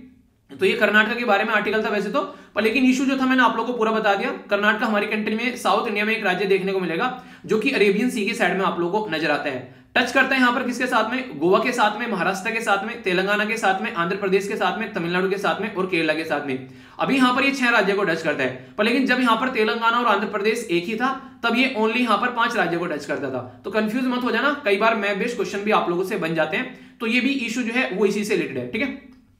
साइड में ये जो वाला आर्टिकल है, यहाँ पर बेसिकली बात कर रहा है, हमारे देश में आज की डेट में अगर बैडमिंटन के बारे में बात करें तो काफ़ी अच्छे से बढ़कर आ रहे हैं तो उसी को बता रहे हैं कि किस तरीके से हम लोग चीज़ों को आगे लेकर चल सकते हैं, ठीक है? आगे ओलंपिक में कैसे हम लोग चीज़ों को लेकर चल सकते हैं तो बैडमिंटन के बारे में। तो अगर आप लोग बैडमिंटन में इंटरेस्टेड है तो आप लोग इसको पढ़ सकते हैं। बैडमिंटन के किसी तीन फ़ेमस प्लेयर के नाम तो बताओ जरा। देखिए, आप लोगों ना इनके कई बार आज स्टेट पीसेस की आप लोग तैयारी करें तो इनके नाम भी आप लोगों से मैच करने के लिए पूछ लिए जाते हैं। तो अगर आप लोगों को याद रहेगा तो कोई भी कंफ्यूजन आप लोगों को इसका रिलेटेड माइंड में देखने को नहीं मिलेगा, ठीक है? अब आप लोगों से जो मैं आर्टिकल डिस्कस करूँगा एक एक कर कर, उनको बड़े ही ध्यान से सुनिएगा, क्योंकि काफ़ी कुछ आप लोगों को यहाँ पर जानने को मिलेगा और बहुत सारी इंपॉर्टेंट बातें जो आप लोग समझ पाओगे, उनके बारे में हम लोग बात करेंगे। सबसे पहले मैं जो आर्टिकल आप लोगों से डिस्कस करने वाला हूँ तो ये मैं आप लोगों से बात करूँगा जो इलेक्ट्रोल अमेंडमेंट जो बिल बेसिकली यहाँ पर लेकर आया जा रहा है, उसके बारे में। तो मैं आप लोगों से बात करता हूँ यहाँ पर। आप लोगों को पता है, आप लोगों को अगर वोट डालनी है तो आप लोगों को यहाँ पर 18 साल या फिर उससे ज़्यादा आप लोगों की एज होनी चाहिए। तभी आप लोग वोट डालने के एरिया में यहाँ पर एंट्री कर पाएँगे। और हमारी कंट्री में एक इंपॉर्टेंट आप लोगों को डे पता होना चाहिए 25 नवंबर जो है सॉरी 25 जनवरी जो है हम लोग यहाँ पर वोटर्स डे के रूप में सेलिब्रेट करते हैं। तो यहाँ पर आप लोगों को पता है, आज की डेट में अगर हम लोग बात करें तो 25 जनवरी वोटर्स डे के रूप में क्यों सेलिब्रेट करते हैं? चलिए देखता हूँ कौन कौन इसका आंसर देता है। आप लोग इसका आंसर दीजिए, फिर तब तक मैं आर्टिकल पढ़ाता हूँ और फिर आप लोगों को इसका आंसर बताऊँगा, ठीक है? तो अच्छे से आप लोग इसको देखेगा अरे हाँ देखिए, आज की डेट में कई सारे बच्चे जो हैं, वो एक तरीके से वीडियो चलाने की कोशिश करते हैं और वीडियो उनकी नहीं चलती है, ठीक है? स्टार्टिंग में उनको दिख तो जाता है, पर लेकिन चल नहीं रही है। तो कई सारे ऐसे इश्यूज़ देखने को मिल जाते हैं स्टार्टिंग में वॉइस भी नहीं आती है। तो यार, जो भी ये इश्यूज़ हैं, आप लोग थोड़ा सा ऐसा करिए, थोड़ा वेट कर लिया कीजिए। क्योंकि स्टार्टिंग में पता नहीं क्या दिक्कत रहती है, कई बार ऐसे इश्यूज़ देखने को मिल रहे हैं, कई सारे बच्चों रेगुलर लिखते हैं वीडियो आ चुकी है, उसको खोल चुके हैं, पर उसके अंदर वॉइस नहीं आ रही है। तो थोड़ा सा आप लोग वेट कर लिया कीजिए, उसको रिफ्रेश कर लिया कीजिए एक दो बार तो उसके बाद में आने लगती है, और ये सबके साथ में नहीं है किसी किसी को यहाँ पर ये इश्यूज़ देखने को मिलता है। तो जो भी सिस्टम है यार, इसके अंदर जो भी दिक्कत आ रही है, मुझे कुछ समझ में नहीं आ रहा है। कई सारे बच्चे ऐसे हैं कि वो क्लिक कर रहे हैं उस पर लिंक पर क्लिक नहीं हो रहा है, मुझे स्क्रीन लेकर भेज रहा था, एक रिकॉर्डिंग कर भी भेजी मुझे। तो थोड़ा सा यार इसको मतलब क्या ही बोलू इसके बारे में, मैं मतलब जो भी है, चल रही है बस चीज़ें। तो थोड़ा सा आप लोग इसको देख लेना, जैसे भी इसको मतलब मेरे हाथ में मैं तो यार मतलब उसको समझ में नहीं आता मुझे कि हाँ मतलब मुद्दा क्या है ये, ठीक है? क्योंकि कुछ बच्चों को दिख रहा है, कुछ को नहीं दिख रहा है, ठीक है? तो ये चीज़ें हैं। तो जो भी है, आप लोग उसको थोड़ा सा देख के मतलब क्या मैं, कुछ शब्द नहीं है मेरे पास में बोलने के लिए, इसके लिए, ठीक है? बात करते हैं यहाँ पर बेसिकली अगर बात करें यहाँ पर तो इलेक्शन लॉ अमेंडमेंट बिल 2021 है यहाँ पर ये। इसके बारे में अगर मैं आप लोगों से बात करूँ तो अभी बात ये की जा रही है कि आधार कार्ड को आप लोग बेसिकली यूज़ करते हैं आइडेंटिटी के तौर पर तो उसको अपने वोटिंग आईडी कार्ड के साथ में आप लोग ऐड कर दीजिए। तो आधार कार्ड अगर वोटिंग आप लोग की आईडी के साथ में यहाँ पर कनेक्ट हो जाता है तो आप लोग को ये देखने को मिलेगा कि आधार कार्ड फिर देश के अंदर मैंडेटरी हो गया कंप्लीटली कि बिना आधार कार्ड के बिना आप लोग काम नहीं चलेगा। और यहाँ पर वोटर आईडी कार्ड जो है, वो उसके साथ में अगर कनेक्ट हो जाता है तो फिर यहाँ पर एक तरीके से मुद्दा ये होगा कि अब इन दोनों का एक साथ में होना ज़रूरी है, तभी आप लोग देश के अंदर वोट डाल पाओगे। तो ये काफ़ी इंपोर्टेंट यहाँ पर इशू बन रहा है, जिसके चलते बार बार बातें की जा रही है। तो यहाँ पर अभी हमारे देश में क्या होता है इलेक्ट्रोल तैयार किया जाता है, जिसमें आप लोगों ने देखा होगा, हर एक पर्सन के नाम होते हैं, नहीं कहते कि पर्ची आ गई, नाम है आप लोग का, जाकर आप लोग वोट डाल के आना। तो इलेक्ट्रोल रोल बोलते हैं इसको तो ऑर्डिनली नॉर्मल भाषा में इसको वोटर लिस्ट भी आप लोग बोलते हैं। तो इसमें बेसिकली रजिस्टर रहते हैं, जैसे इस तरीके से आप लोगों ने देखा कौन सी कॉन्स्टिट्यूएंसी है, यानी कि जहाँ पर आप लोग वोट डालते हैं। एक इंटरेस्टिंग चीज़ यहाँ पर आप लोगों ने देखी होगी, जैसे मेरा जो डिस्ट्रिक्ट है, और जो मेरी जो कॉन्स्टिट्यूएंसी है वोट डालने की, वो दोनों अलग है। तो याद रखना, कभी भी आप लोगों का जो वोट डालने का एरिया जो होता है, वो आप लोगों का डिस्ट्रिक्ट नहीं होता है, वो कॉन्स्टिट्यूएंसी होता है। और कॉन्स्टिट्युएंसी जो होती है, जहाँ पर आप लोग वोट डालते हैं, जहाँ से आप लोग मेंबर ऑफ़ पार्लियामेंट या फिर मेंबर ऑफ़ लेजिस्लेटिव असेंबली यानी कि आप लोग विधायक और सांसद निकल कर आते हैं वो इंपॉर्टेंट मुद्दा याद रखना कि उसमें आप लोग वोट डालेंगे तो वो जो डिवीज़न उसका देखने को मिलता है कॉन्स्टिट्यूएंसी का, वो पॉपुलेशन के बेस पर देखने को मिलता है, ताकि पॉपुलेशन जो है उस एरिया में उसी तरीके से रहे। ये ना हो कि एक मेंबर ऑफ़ पार्लियामेंट चुनकर आया, दस लाख लोगों ने उसको वोट दिया और दूसरे यहाँ पर जो चुनकर आ रहा है, उसको ओनली यहाँ पर पाँच लाख लोगों ने वोट दिया तो वोटिंग के बेस पर यहाँ पर इसको डिवाइड किया है, ताकि आराम से चीज़ें जो है, वो यहाँ पर मैनेज की जा सके, ठीक है? तो यहाँ पर अगर इसके साथ में इसको कनेक्ट कर दिया जाएगा तो ये माना जा रहा है कि आइडेंटिफाई कर पाएँगे किसी पर्टिकुलर पर्सन को कि वो एक ही एरिया में रजिस्टर है या फिर अलग अलग राज्य में यहाँ पर रजिस्टर है। तो गवर्नमेंट के द्वारा स्टेप तो काफ़ी अच्छा लिया गया तो यहाँ पर ये इसलिए अप्रिशिएट करने लगा क्योंकि डुप्लीकेशन जो है, वो यहाँ पर खत्म हो जाएगा। पर लेकिन उससे पहले हर एक इंसान के पास में यहाँ पर आधार कार्ड की फैसिलिटी प्रॉपर होनी चाहिए। क्योंकि बहुत सारे ऐसे लोग हैं आज के में भी जिनके पास में आधार कार्ड देखने को नहीं मिलता है, ठीक है? जो इन, जो एक्सक्लूडेड रहते हैं। तो इस तरीके से यहाँ पर अगर किसी को नाम जो है उसका इलेक्ट्रोल में नहीं देखने को मिलेगा, अगर आधार कार्ड नहीं है या फिर कोई ऐसा इशू है तो कैसे उसको आप लोग लेकर चलेंगे? तो एक तरीके से कई बार इसके ऊपर इशू बन चुके हैं। इवन कोर्ट के अंदर भी यहाँ पर ये केस पहुँचा था उसने भी इसके बारे में बात की थी। हालाँकि इनके द्वारा ये बोला गया कि कोई ऑल्टरनेटिव डॉक्यूमेंट्स भी यहाँ पर अलाउ किया जा सकता है। तो ये बातें आप लोगों को नज़र आएगी, ठीक है? इसके लिए अमेंडमेंट कहाँ किया जाएगा? यानी कि संशोधन क्या किया जाएगा?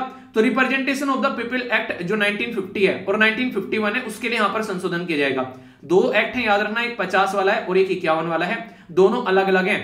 एक यहाँ पर जनता के लिए है, लोगों के लिए है, और दूसरा यहाँ पर जो पॉलिटिशियन है, जिनके लिए वोट डालने जाते हैं, उनके लिए है। ठीक है? तो ये आप लोग याद रखिएगा। अब इसके लिए अगर आप लोग इसको डिटेल में समझना है, मैंने इसके ऊपर भी एक अलग से वीडियो बना रखी है। ओनली इसके ऊपर कि एक एक्ट ये है, एक एक्ट ये डिटेल में पढ़ा रखा है पॉलिटी के अंदर में। तो इसलिए बोलता हूँ, जहाँ भी आप लोगों को लगे ना, यार ये कंफ्यूजन हो रखा है तुरंत जाकर सर्च कर ले कीजिए। Representation of the people act by we डालना। आप लोगों को वीडियो खुल के आएगी। आठ, दस, या दस बारह मिनट की आई थिंक उसमें सारी चीज़ें डिटेल में एक्सप्लेन कर रखी है मैंने।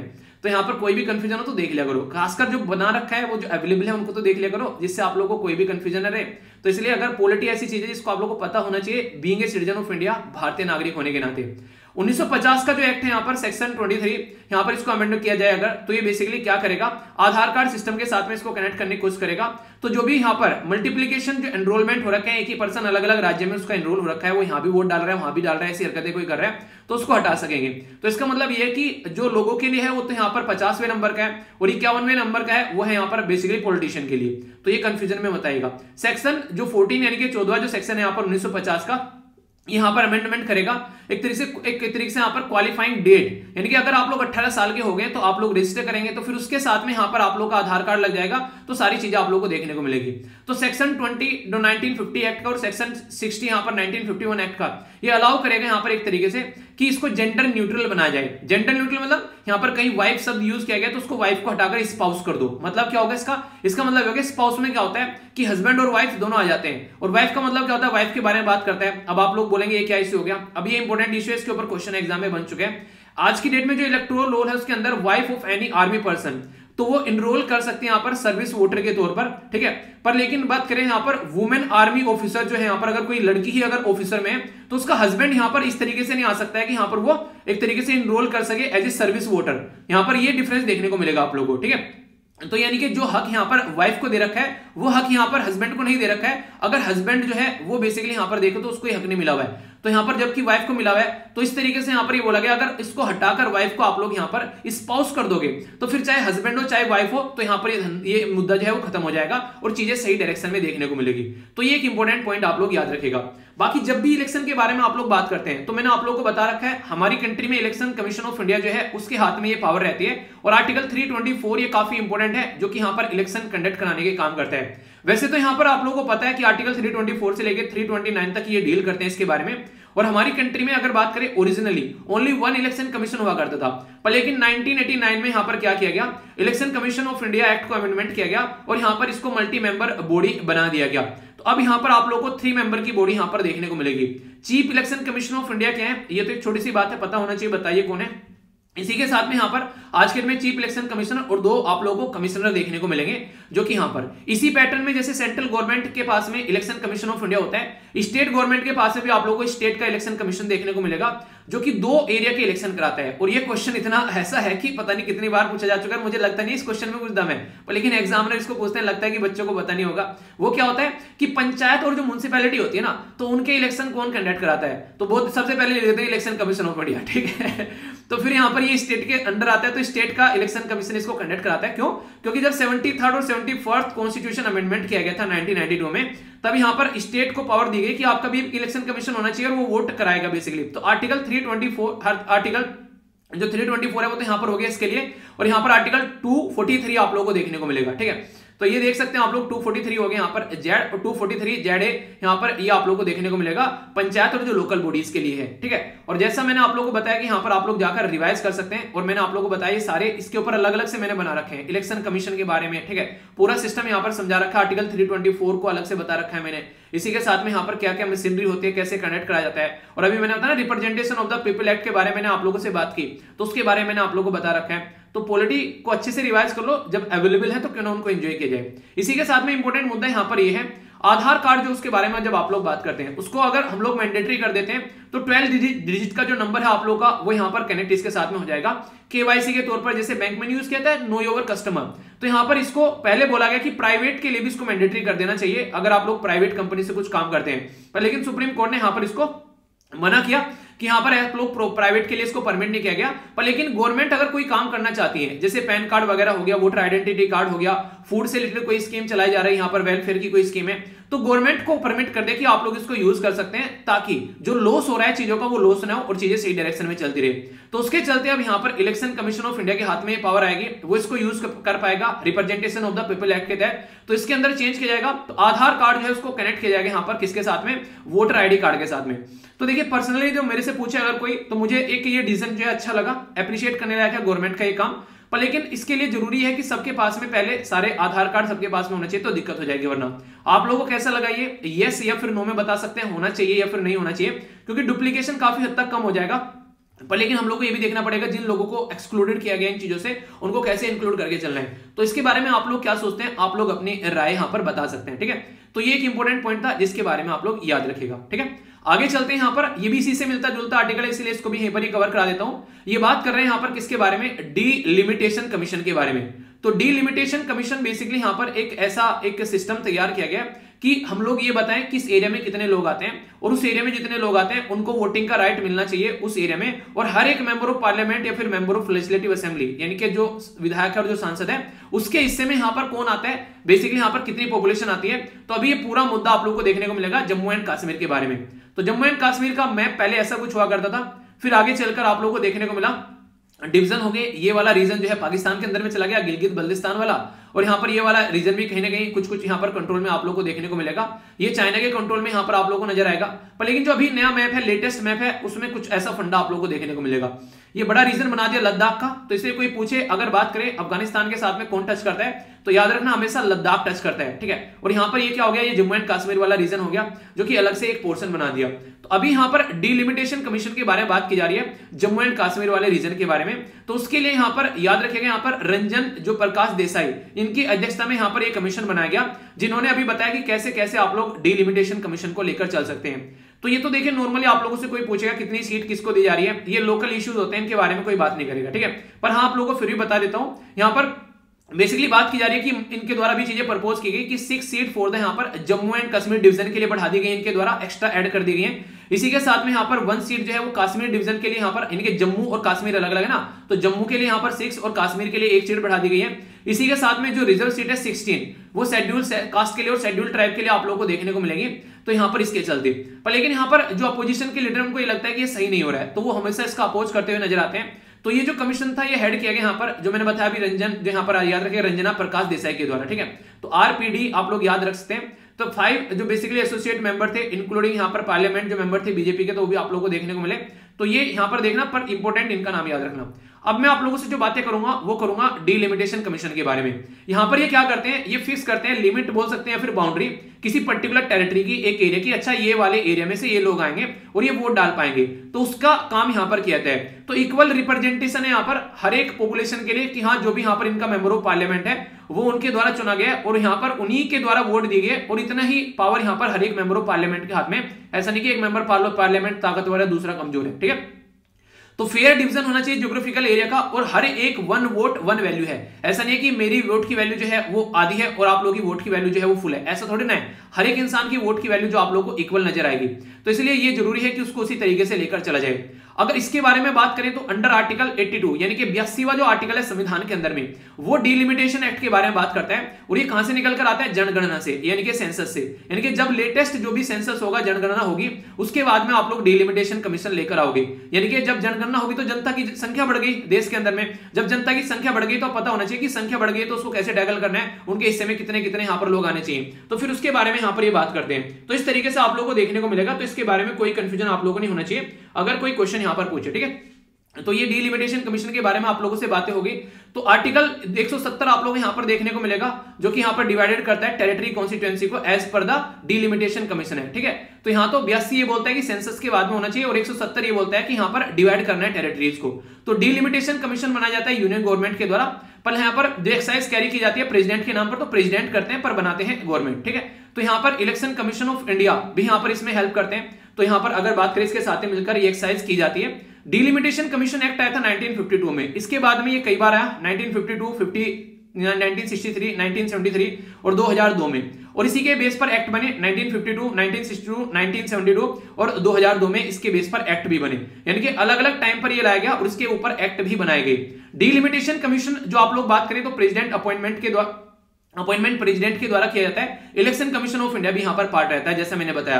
तो रिटायर्ड सुप्रीम कोर्ट के जज रहेंगे चीफ इलेक्शन कमिश्नर रहेंगे और रेस्पेक्टिव स्टेट के इलेक्शन कमिश्नर रहेंगे, जहाँ पर ये डिलिमिटेशन किया जा रहा है। यानी कि जम्मू एंड कश्मीर में किया जाता है तो वहाँ पर भी यहाँ पर जो इलेक्शन कमीशन है, वो यहाँ पर पार्टिसिपेट करेंगे।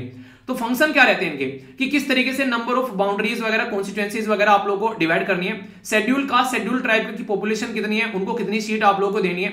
इसी के साथ में केस द डिफरेंट ओपिनियन अगर किसी भी कमीशन का जो यहाँ पर रहता है मेजोरिटी के बारे में तो यहाँ पर कुछ डिफरेंस आता है इनमें, जो यहाँ पर अगर तो उसको जो मेजोरिटी का डिसीज़न होगा, वो यहाँ पर इंप्लीमेंट किया जाएगा।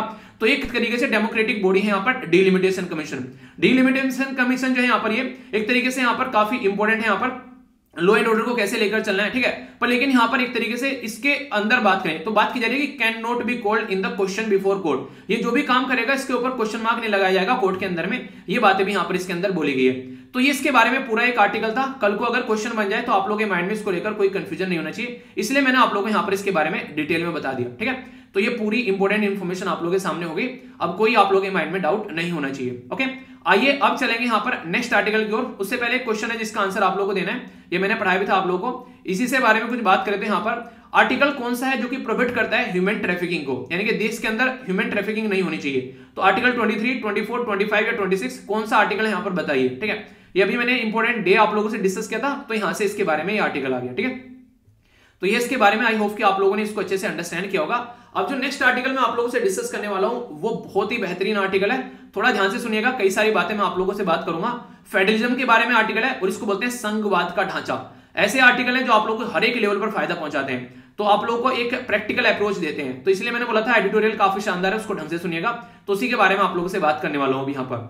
अभी हुआ क्या है, हमारे देश में आप लोगों को यह देखने को मिला, जैसे कोविड नाइन्टीन आया तो सेंट्रल गवर्नमेंट की जो पावर है, वो एक अलग लेवल पर आप लोगों को देखने को मिलेगी as compare to state government ये माना गया, ठीक है? तो कई सारी चीज़ें यहाँ पर चेंज की गई तो उसी के चलते यहाँ पर कई सारे मुद्दे भी चेंज किए गए। तो बोला गया कि स्टेट के द्वारा अभी यहाँ पर कंप्लेन की जा रही है यहाँ पर कि सेंट्रल गवर्नमेंट जो है, वो यहाँ पर एंटी फेडरल मूव लेकर चल रही है, यानी कि फेडरलिज्म संघवाद के ढांचे को सही से इंप्लीमेंट नहीं कर रही है। मतलब कि यहाँ पर जैसे ही पेंडेमिक आया तो सेंट्रल गवर्नमेंट ने क्या किया? यहाँ पर फेडरलिज्म का जो सिस्टम है, उसको साइड में किया और खासकर फ़िज़िकल फेडरलिज्म जो होता है, यानी कि जब पैसा शेयर किया जाता है सेंटर और स्टेट के बीच में, उसके ऊपर भी दिक्कतें देखने को मिली। आप लोग बोलोगे कैसे? तो वो मैं बताता हूँ। अभी फ़िलहाल अगर सेंटर और स्टेट के बीच में पैसे का शेयर किया जाता है तो पहले आप लोगों को देखने को मिला यहाँ पर कि 32 प्रतिशत शेयर किया जाता था सेंट्रल गवर्नमेंट और स्टेट गवर्नमेंट के बीच में, जो कि फाइनेंस कमीशन ऑफ़ इंडिया के बेस पर शेयर किया जाता था। पर लेकिन अभी उसको बढ़ाकर 42 प्रतिशत कर दिया, जो यहाँ पर इससे लास्ट वाला फाइनेंस कमीशन था वाईवी रेड्डी साहब की अध्यक्षता में। पर अभी जो फ़िलहाल है यहाँ पर प्रेजेंट टाइम पे, इनके बारे में याद रखेगा ये कौन है फाइनेंस कमीशन ये है एनके सिंह तो एनके सिंह जी के द्वारा क्या किया गया? अब जो ये बयालीस प्रतिशत यहाँ पर था, इसको एक घटाकर इकतालीस प्रतिशत कर दिया। यानी कि अब सेंटर और स्टेट के बीच में इकतालीस प्रतिशत हो गया शेयर आप लोग बोलोगे क्यों? क्योंकि एक प्रतिशत जो है, वो अभी यहाँ पर जम्मू एंड कश्मीर जो राज्य था, उसको यूनियन टेरिटरी बना दिया तो एक प्रतिशत यहाँ पर उसको दे दिया, ठीक है? तो ये काफ़ी इंपोर्टेंट क्वेश्चन बन जाएगा, फिर बोलोगे कहाँ से आ गया? तो यहाँ से आ गया, थोड़ा भी ध्यान से सुनोगे तो आंसर दे पाओगे, ठीक है? अब बात बताता हूँ आगे। एक तो होती है सेंट्रल सेक्टर स्कीम जिसमें सेंट्रल गवर्नमेंट सारा पै, सारा पैसे देती है सेंट्रल स्पॉन्सर्ड स्कीम तो यहाँ पर जो अभी यहाँ पर कई सारी सेंट्रल स्पॉन्सर्ड स्कीम जो आती हैं उसमें ये बोला जा रहा है कि एक अपनी मनमानी सी चलती है सेंट्रल गवर्नमेंट की। अपने हिसाब से यहाँ पर काम करती है उसमें कई सारी ऐसी स्कीम्स आप लोगों को देखने को मिलेगी। तो यहाँ पर कहीं ना कहीं सेंटर जो है वो स्टेट के ऊपर हावी होने की बात करते हैं। फिफ्टीन फाइनेंस कमीशन के बारे में बात करें तो उसके द्वारा बोला गया कि एक तरीके से यहाँ पर कि एक तरीके से स्टेट के साथ में ज़्यादा डिस्कशन नहीं किया जाता है, उसके बाद में यहाँ पर ये चीज़ें देखने को मिलती है तो ये गलत है। अगर कोई भी स्कीम आप लोग लेकर आ रहे हैं, मान लीजिए मैं आप लोगों के लिए कुछ लेकर आ रहा हूँ और आप लोगों को पसंद नहीं आ रहा है तो फिर मेरा लाने का कोई मतलब नहीं उस चीज़ का। आप लोगों के लिए लेकर आ रहा हूँ और आप लोगों को पसंद नहीं आ रहा है तो थोड़ा सा अंडरस्टैंड करना पड़ेगा। तो इंस्टीट्यूशनलाइजेशन करना है गुड्स एंड सर्विस टैक्स को। वो आप लोगों ने देखा कि स्टेट गवर्नमेंट के हाथ में जो पहले जितनी पावर हुआ करती थी, अब उतनी पावर नहीं रही है टैक्स को लगाने की। स्टेचुटरी फ़ंक्शन आप लोगों को देखने को मिलेंगे स्मार्ट सिटी मिशन की। तो सेंट्रल गवर्नमेंट कहती है, इतनी स्मार्ट सिटी बनाएँगे। जबकि सिटीज़ जो होती है नॉर्मली स्टेट के अंदर आप लोगों को देखने को मिलेगी। तो स्टेट गवर्नमेंट की पावर यहाँ पर कम हो रही है। इसी के साथ में जीएसटी कंपनसेशन के बारे में बात करें। बोला गया था जीएसटी लगाने के टाइम पे कि जो भी आप लोगों को जीएसटी की कमी होगी, वो हम लोग भरपूर करेंगे। तो वो पूरा नहीं किया जा रहा है। वन नेशन, वन राशन के बारे में बात की जाती है तो ये एक मुद्दा आप लोगों को देखने को मिलेगा। तो बहुत सारे ऐसे इश्यूज़ हैं। आगे अगर बढ़ेंगे, अगर पेंडेमिक और फेडरलिज्म को समझेंगे, कि जो भी यहाँ पर अभी कोविड नाइन्टीन के चलते दिक्कत देखने को मिली और संघवाद के ढांचे को अगर आप लोग समझेंगे तो इससे रिलेटेड जब बीमारी को टैकल किया गया तो जो भी सामान प्रोक्योर करना है, कोई किट प्रोक्योर करनी है वैक्सीन लेकर आनी है डिजास्टर मैनेजमेंट का एक्ट इंप्लीमेंट करना है, या फिर देश में लॉकडाउन लगाना है तो सेंट्रल गवर्नमेंट अपने हिसाब से काम कर रही है स्टेट गवर्नमेंट से ज़्यादा डिस्कस ही नहीं कर रही है। तो ये दिक्कतें निकल कर आई। यूनियन जो मिनिस्टर है, उनके द्वारा तो यहाँ पर यह बोल दिया गया पहले तो सारा काम अपने आप कर रहे हैं और फिर ये बोल दिया गया राइटर ये बोल रहे हैं कि उन्होंने ये बोल दिया डायरेक्ट कि स्टेट लिस्ट है जो आप लोग जाएँगे संविधान के अंदर सातवें शेड्यूल में। तो सेंट्रल लिस्ट स्टेट लिस्ट और कॉन्करेंट लिस्ट तीन लिस्ट है। तो उसमें से यहाँ पर स्टेट लिस्ट के अंदर आता है हेल्थ तो भाई साहब कोविड 19 की जब सेकंड वेव आई तो ये बोल दिया कि अपने आप संभालो इसको। यानी कि एक तरीके से दिक्कत ये भी देखने को मिली कि स्टेप तो सारे आप उठा रहे हैं, कहाँ लॉकडाउन लगाना है, कहाँ दवाई जानी है, कहाँ किट जानी है। और जब चीज़ें बढ़ गई तो फिर आप लोगों ने बोल दिया कि स्टेट लिस्ट के अंदर है तो आप संभालो। ऐसी भी दिक्कतें देखने को मिली। कि दवाई राज्य प्रोवाइड कराएगा। हालाँकि बाद में चलकर उसका डिसीज़न चेंज किया गया। वो एक अलग बात है पर लेकिन स्टार्टिंग में दिक्कतें देखने को मिली इन इस, इस मुद्दे के ऊपर भी। बहुत सारी ऐसी चीज़ें हमारे देश में अगर आप लोग देखोगे जिससे स्टेट की जो ऑटोनॉमी है यानी कि आज़ादी है उसको छीना जा रहा है। ऐसे नहीं से घरों में बोलते हैं कि लड़कियों को घर में रहना चाहिए। तो स्टेट के साथ में कुछ ऐसा ही किया जा रहा है तो ये गलत है बिल्कुल। बैंकिंग रेगुलेशन एक्ट यहाँ पर है एक तरीके से। जहाँ पर भी बैंक होंगे रेगुलेट करेगा कौन? सेंटर यानी कि एक तरीके से आरबीआई जो सेंट्रल गवर्नमेंट के हिसाब से चलते हैं। इसी के साथ में government of government of the national capital territory amendment act लेकर आया गया। जिसके चलते यहाँ पर जो इलेक्टेड गवर्नमेंट है, उसकी पावर को यहाँ पर डायल्यूट करने की कोशिश की गई, ये बोला गया। इंडिया के अंदर मेरीन जो फिशरी बिल है, वो लेकर आया गया। तो इसमें भी यहाँ पर कहीं ना कहीं पावर जो है, ज़्यादा सेंट्रल गवर्नमेंट के हाथ में देखने को मिल रही है। ड्राफ्ट इलेक्ट्रिसिटी जो बिल के बारे में बात करें, इसमें इनके हाथ में पावर है।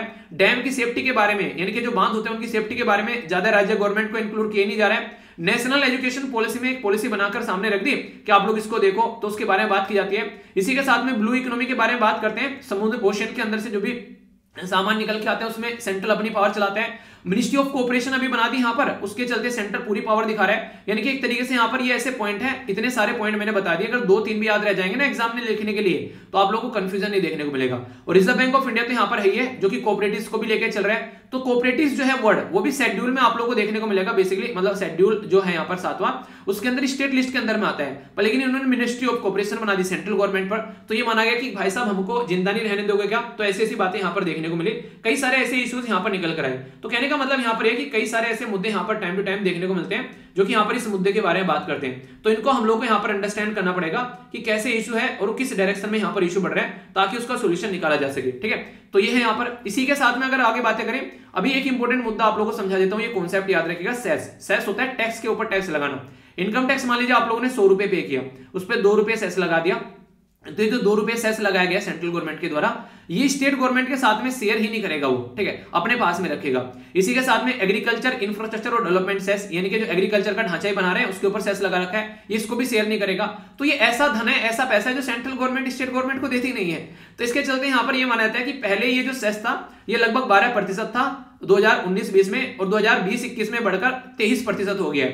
यानी कि सेंट्रल गवर्नमेंट क्या कर रही है? सेस और सरचार्ज लगा रही है और उसको एंजॉय कर रही है और स्टेट गवर्नमेंट के साथ में शेयर नहीं करना पड़ रहा है। तो ये है। जबकि 6 दिसंबर 2021 में यूनियन गवर्नमेंट के द्वारा भी पार्लियामेंट में यहाँ पर बातें बोली गई कि आज की डेट में जो यहाँ पर कॉन्ट्रीब्यूशन जो है पेट्रोल के अंदर सेक्टर में जो यहाँ पर अगर जो पैसा रहता है वो 68 परसेंट से यहाँ पर घटकर स्टेट का जो है, वो ओनली 32 प्रतिशत रह गया है। और एक टाइम ऐसा था यहाँ पर स्टेट के पास से 50 50 परसेंट रहा करता था, जब से यहाँ पर जीएसटी इंप्लीमेंट नहीं किया गया था। तो स्टेट के हाथ में से पैसा जो है, वो ज़्यादा से ज़्यादा छीना जा रहा है। तो ये कहीं ना कहीं स्टेट को कमज़ोर कर रहा है और इसके चलते दिक्कतें देखने को मिल रही हैं। बोला गया था कॉम्पनसेशन देंगे यहाँ पर स्टेट को तो कॉम्पनसेशन नहीं दिया गया। कोविड नाइन्टीन के टाइम पर बोल दिया जब नुकसान होने लगा कि कहाँ से लेकर आए, पैसा हमारे पास में भी नहीं है। इवन यहाँ पर यह भी बोल दिया कि आप लोग खुद जाकर पैसा ले लो मार्केट से उठा लो। जबकि यहाँ पर खुद कैग ने, यानी कि controller and auditor general of India ने यह बोला था कि ऑलरेडी 47,272 करोड़ रुपए कॉम्पनसेशन के यहाँ पर जो बेसिकली हैं वो यहाँ पर कंसोलिडेटेड फंड में है। उनको आप लोग बेसिकली ट्रांसफ़र कर सकते हैं स्टेट को पर लेकिन वो सेंट्रल गवर्नमेंट ने ट्रांसफ़र ही नहीं किए। यानी कि पैसा तो है पर लेकिन ट्रांसफ़र नहीं किया गया। तो ऐसा भी इशू देखने को मिला। एक इंपोर्टेंट मुद्दा यहाँ पर यह था कि जीएसटी का कॉम्पनसेशन जो है वो अभी दो हज़ार बाईस में एक्सपायर हो जाएगा क्योंकि सत्रह में एक्ट आया था। ठीक है तो सत्रह, अठारह, उन्नीस, बीस, इक्कीस, बाईस, ठीक है? तो बोला यह गया था कि पाँच साल के लिए यहाँ पर ही रहने वाला है। अब ये पाँच साल में ही हो जाएगा खत्म। अब तक जीएसटी ढंग से स्टेब्लिश नहीं हुई है। तो कई सारे लोग ये बोले कि यार, ऐसे तो सारे राज्य जो है परेशान रह जाएँगे, कैसे आप लोग चीज़ों को लेकर चलोगे? अभी यहाँ पर एक और इंपोर्टेंट मुद्दा है यहाँ पर। 2020-21 में जो बजट था, उसमें एस्टिमेट मैसन देखने को मिला कि यूनियन जो टैक्स था पहले यहाँ पर, अगर बात करें रिड्यूस हो गया थर्टी परसेंट यहाँ पर अगेंस्ट द जो मैंडेट है फोर्टी वन परसेंट यानी कहने के लिए यहाँ पर फोर्टी वन परसेंट है। पर रियलिटी में अगर ग्राउंड लेवल पर देखोगे तो यहाँ पर थर्टी परसेंट यहाँ पर देखने को मिल रहा है, जो उस हिसाब से यहाँ पर फाइनेंस कमीशन ने अपनी रिकमेंडेशन दी है। तो ये भी दिक्कत यहाँ पर देखने को मिल रही है, यानी कि स्टेट गवर्नमेंट जो है, वो घुटनों पर आ जाएँगी, कैसे काम करेंगी, अगर उसको पैसा नहीं मिलेगा तो कैसे यहाँ पर उस चीज़ों को आगे लेकर चलेंगी। चीफ मिनिस्टर जो डिजास्टर रिलीफ फंड है, अगर उसमें कोई पैसा दे रहा है, उसको सीएसआर के अंदर मानते नहीं है। सीएसआर क्या होता है? कॉर्पोरेट सोशल रेस्पॉन्सिबिलिटी यानी कि सीएसआर अगर एक्सपेंडिचर इसको मान लिया तो यहाँ पर जो कंपनी है, वो चीफ मिनिस्टर के फंड में पैसा देगी और उसको यहाँ पर क्या होगा कंपनी को छूट मिल जाएगी टैक्स में। पर लेकिन उसको ये ऐसे मानते नहीं है।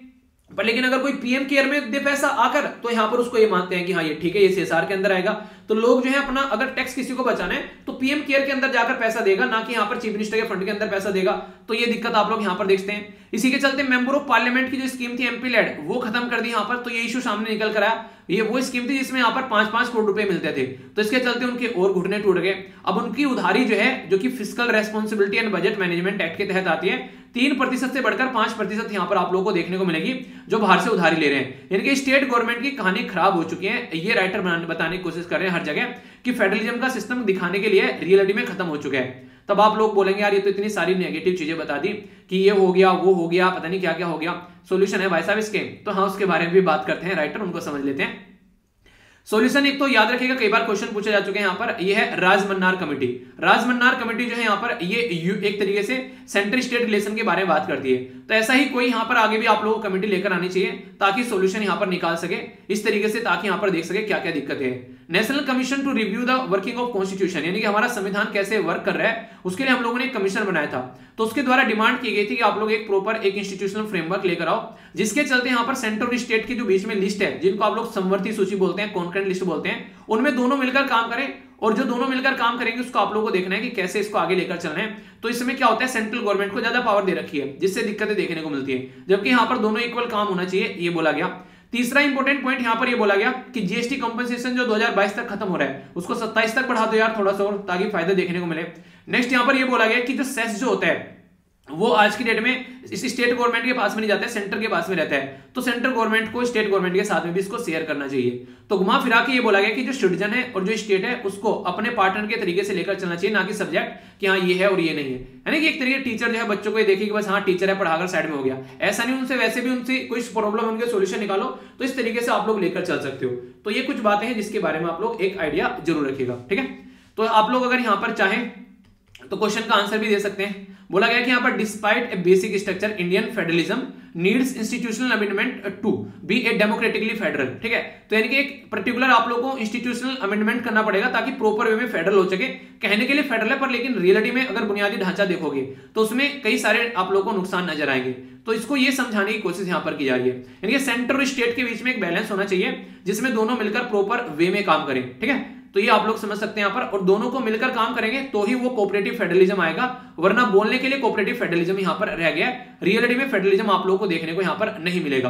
तो जो लिस्ट होती है सेंट्रल लिस्ट स्टेट लिस्ट और कॉन्करेंट लिस्ट इसके बारे में आप लोग याद रख लीजिएगा। और एक होती है रेजिड्यू लिस्ट जो किसी में नहीं होती है तो वो रेजिड्यू लिस्ट की कैटेगरी में आ जाता है। तो ये एक मुद्दा है जिसके बारे में आप लोगों को पता होना चाहिए। सारे के सारे शेड्यूल भी मैंने यहाँ पर डाल रखे हैं। इनको आप लोग देख लेना। सारे के सारे शेड्यूल है यहाँ पर।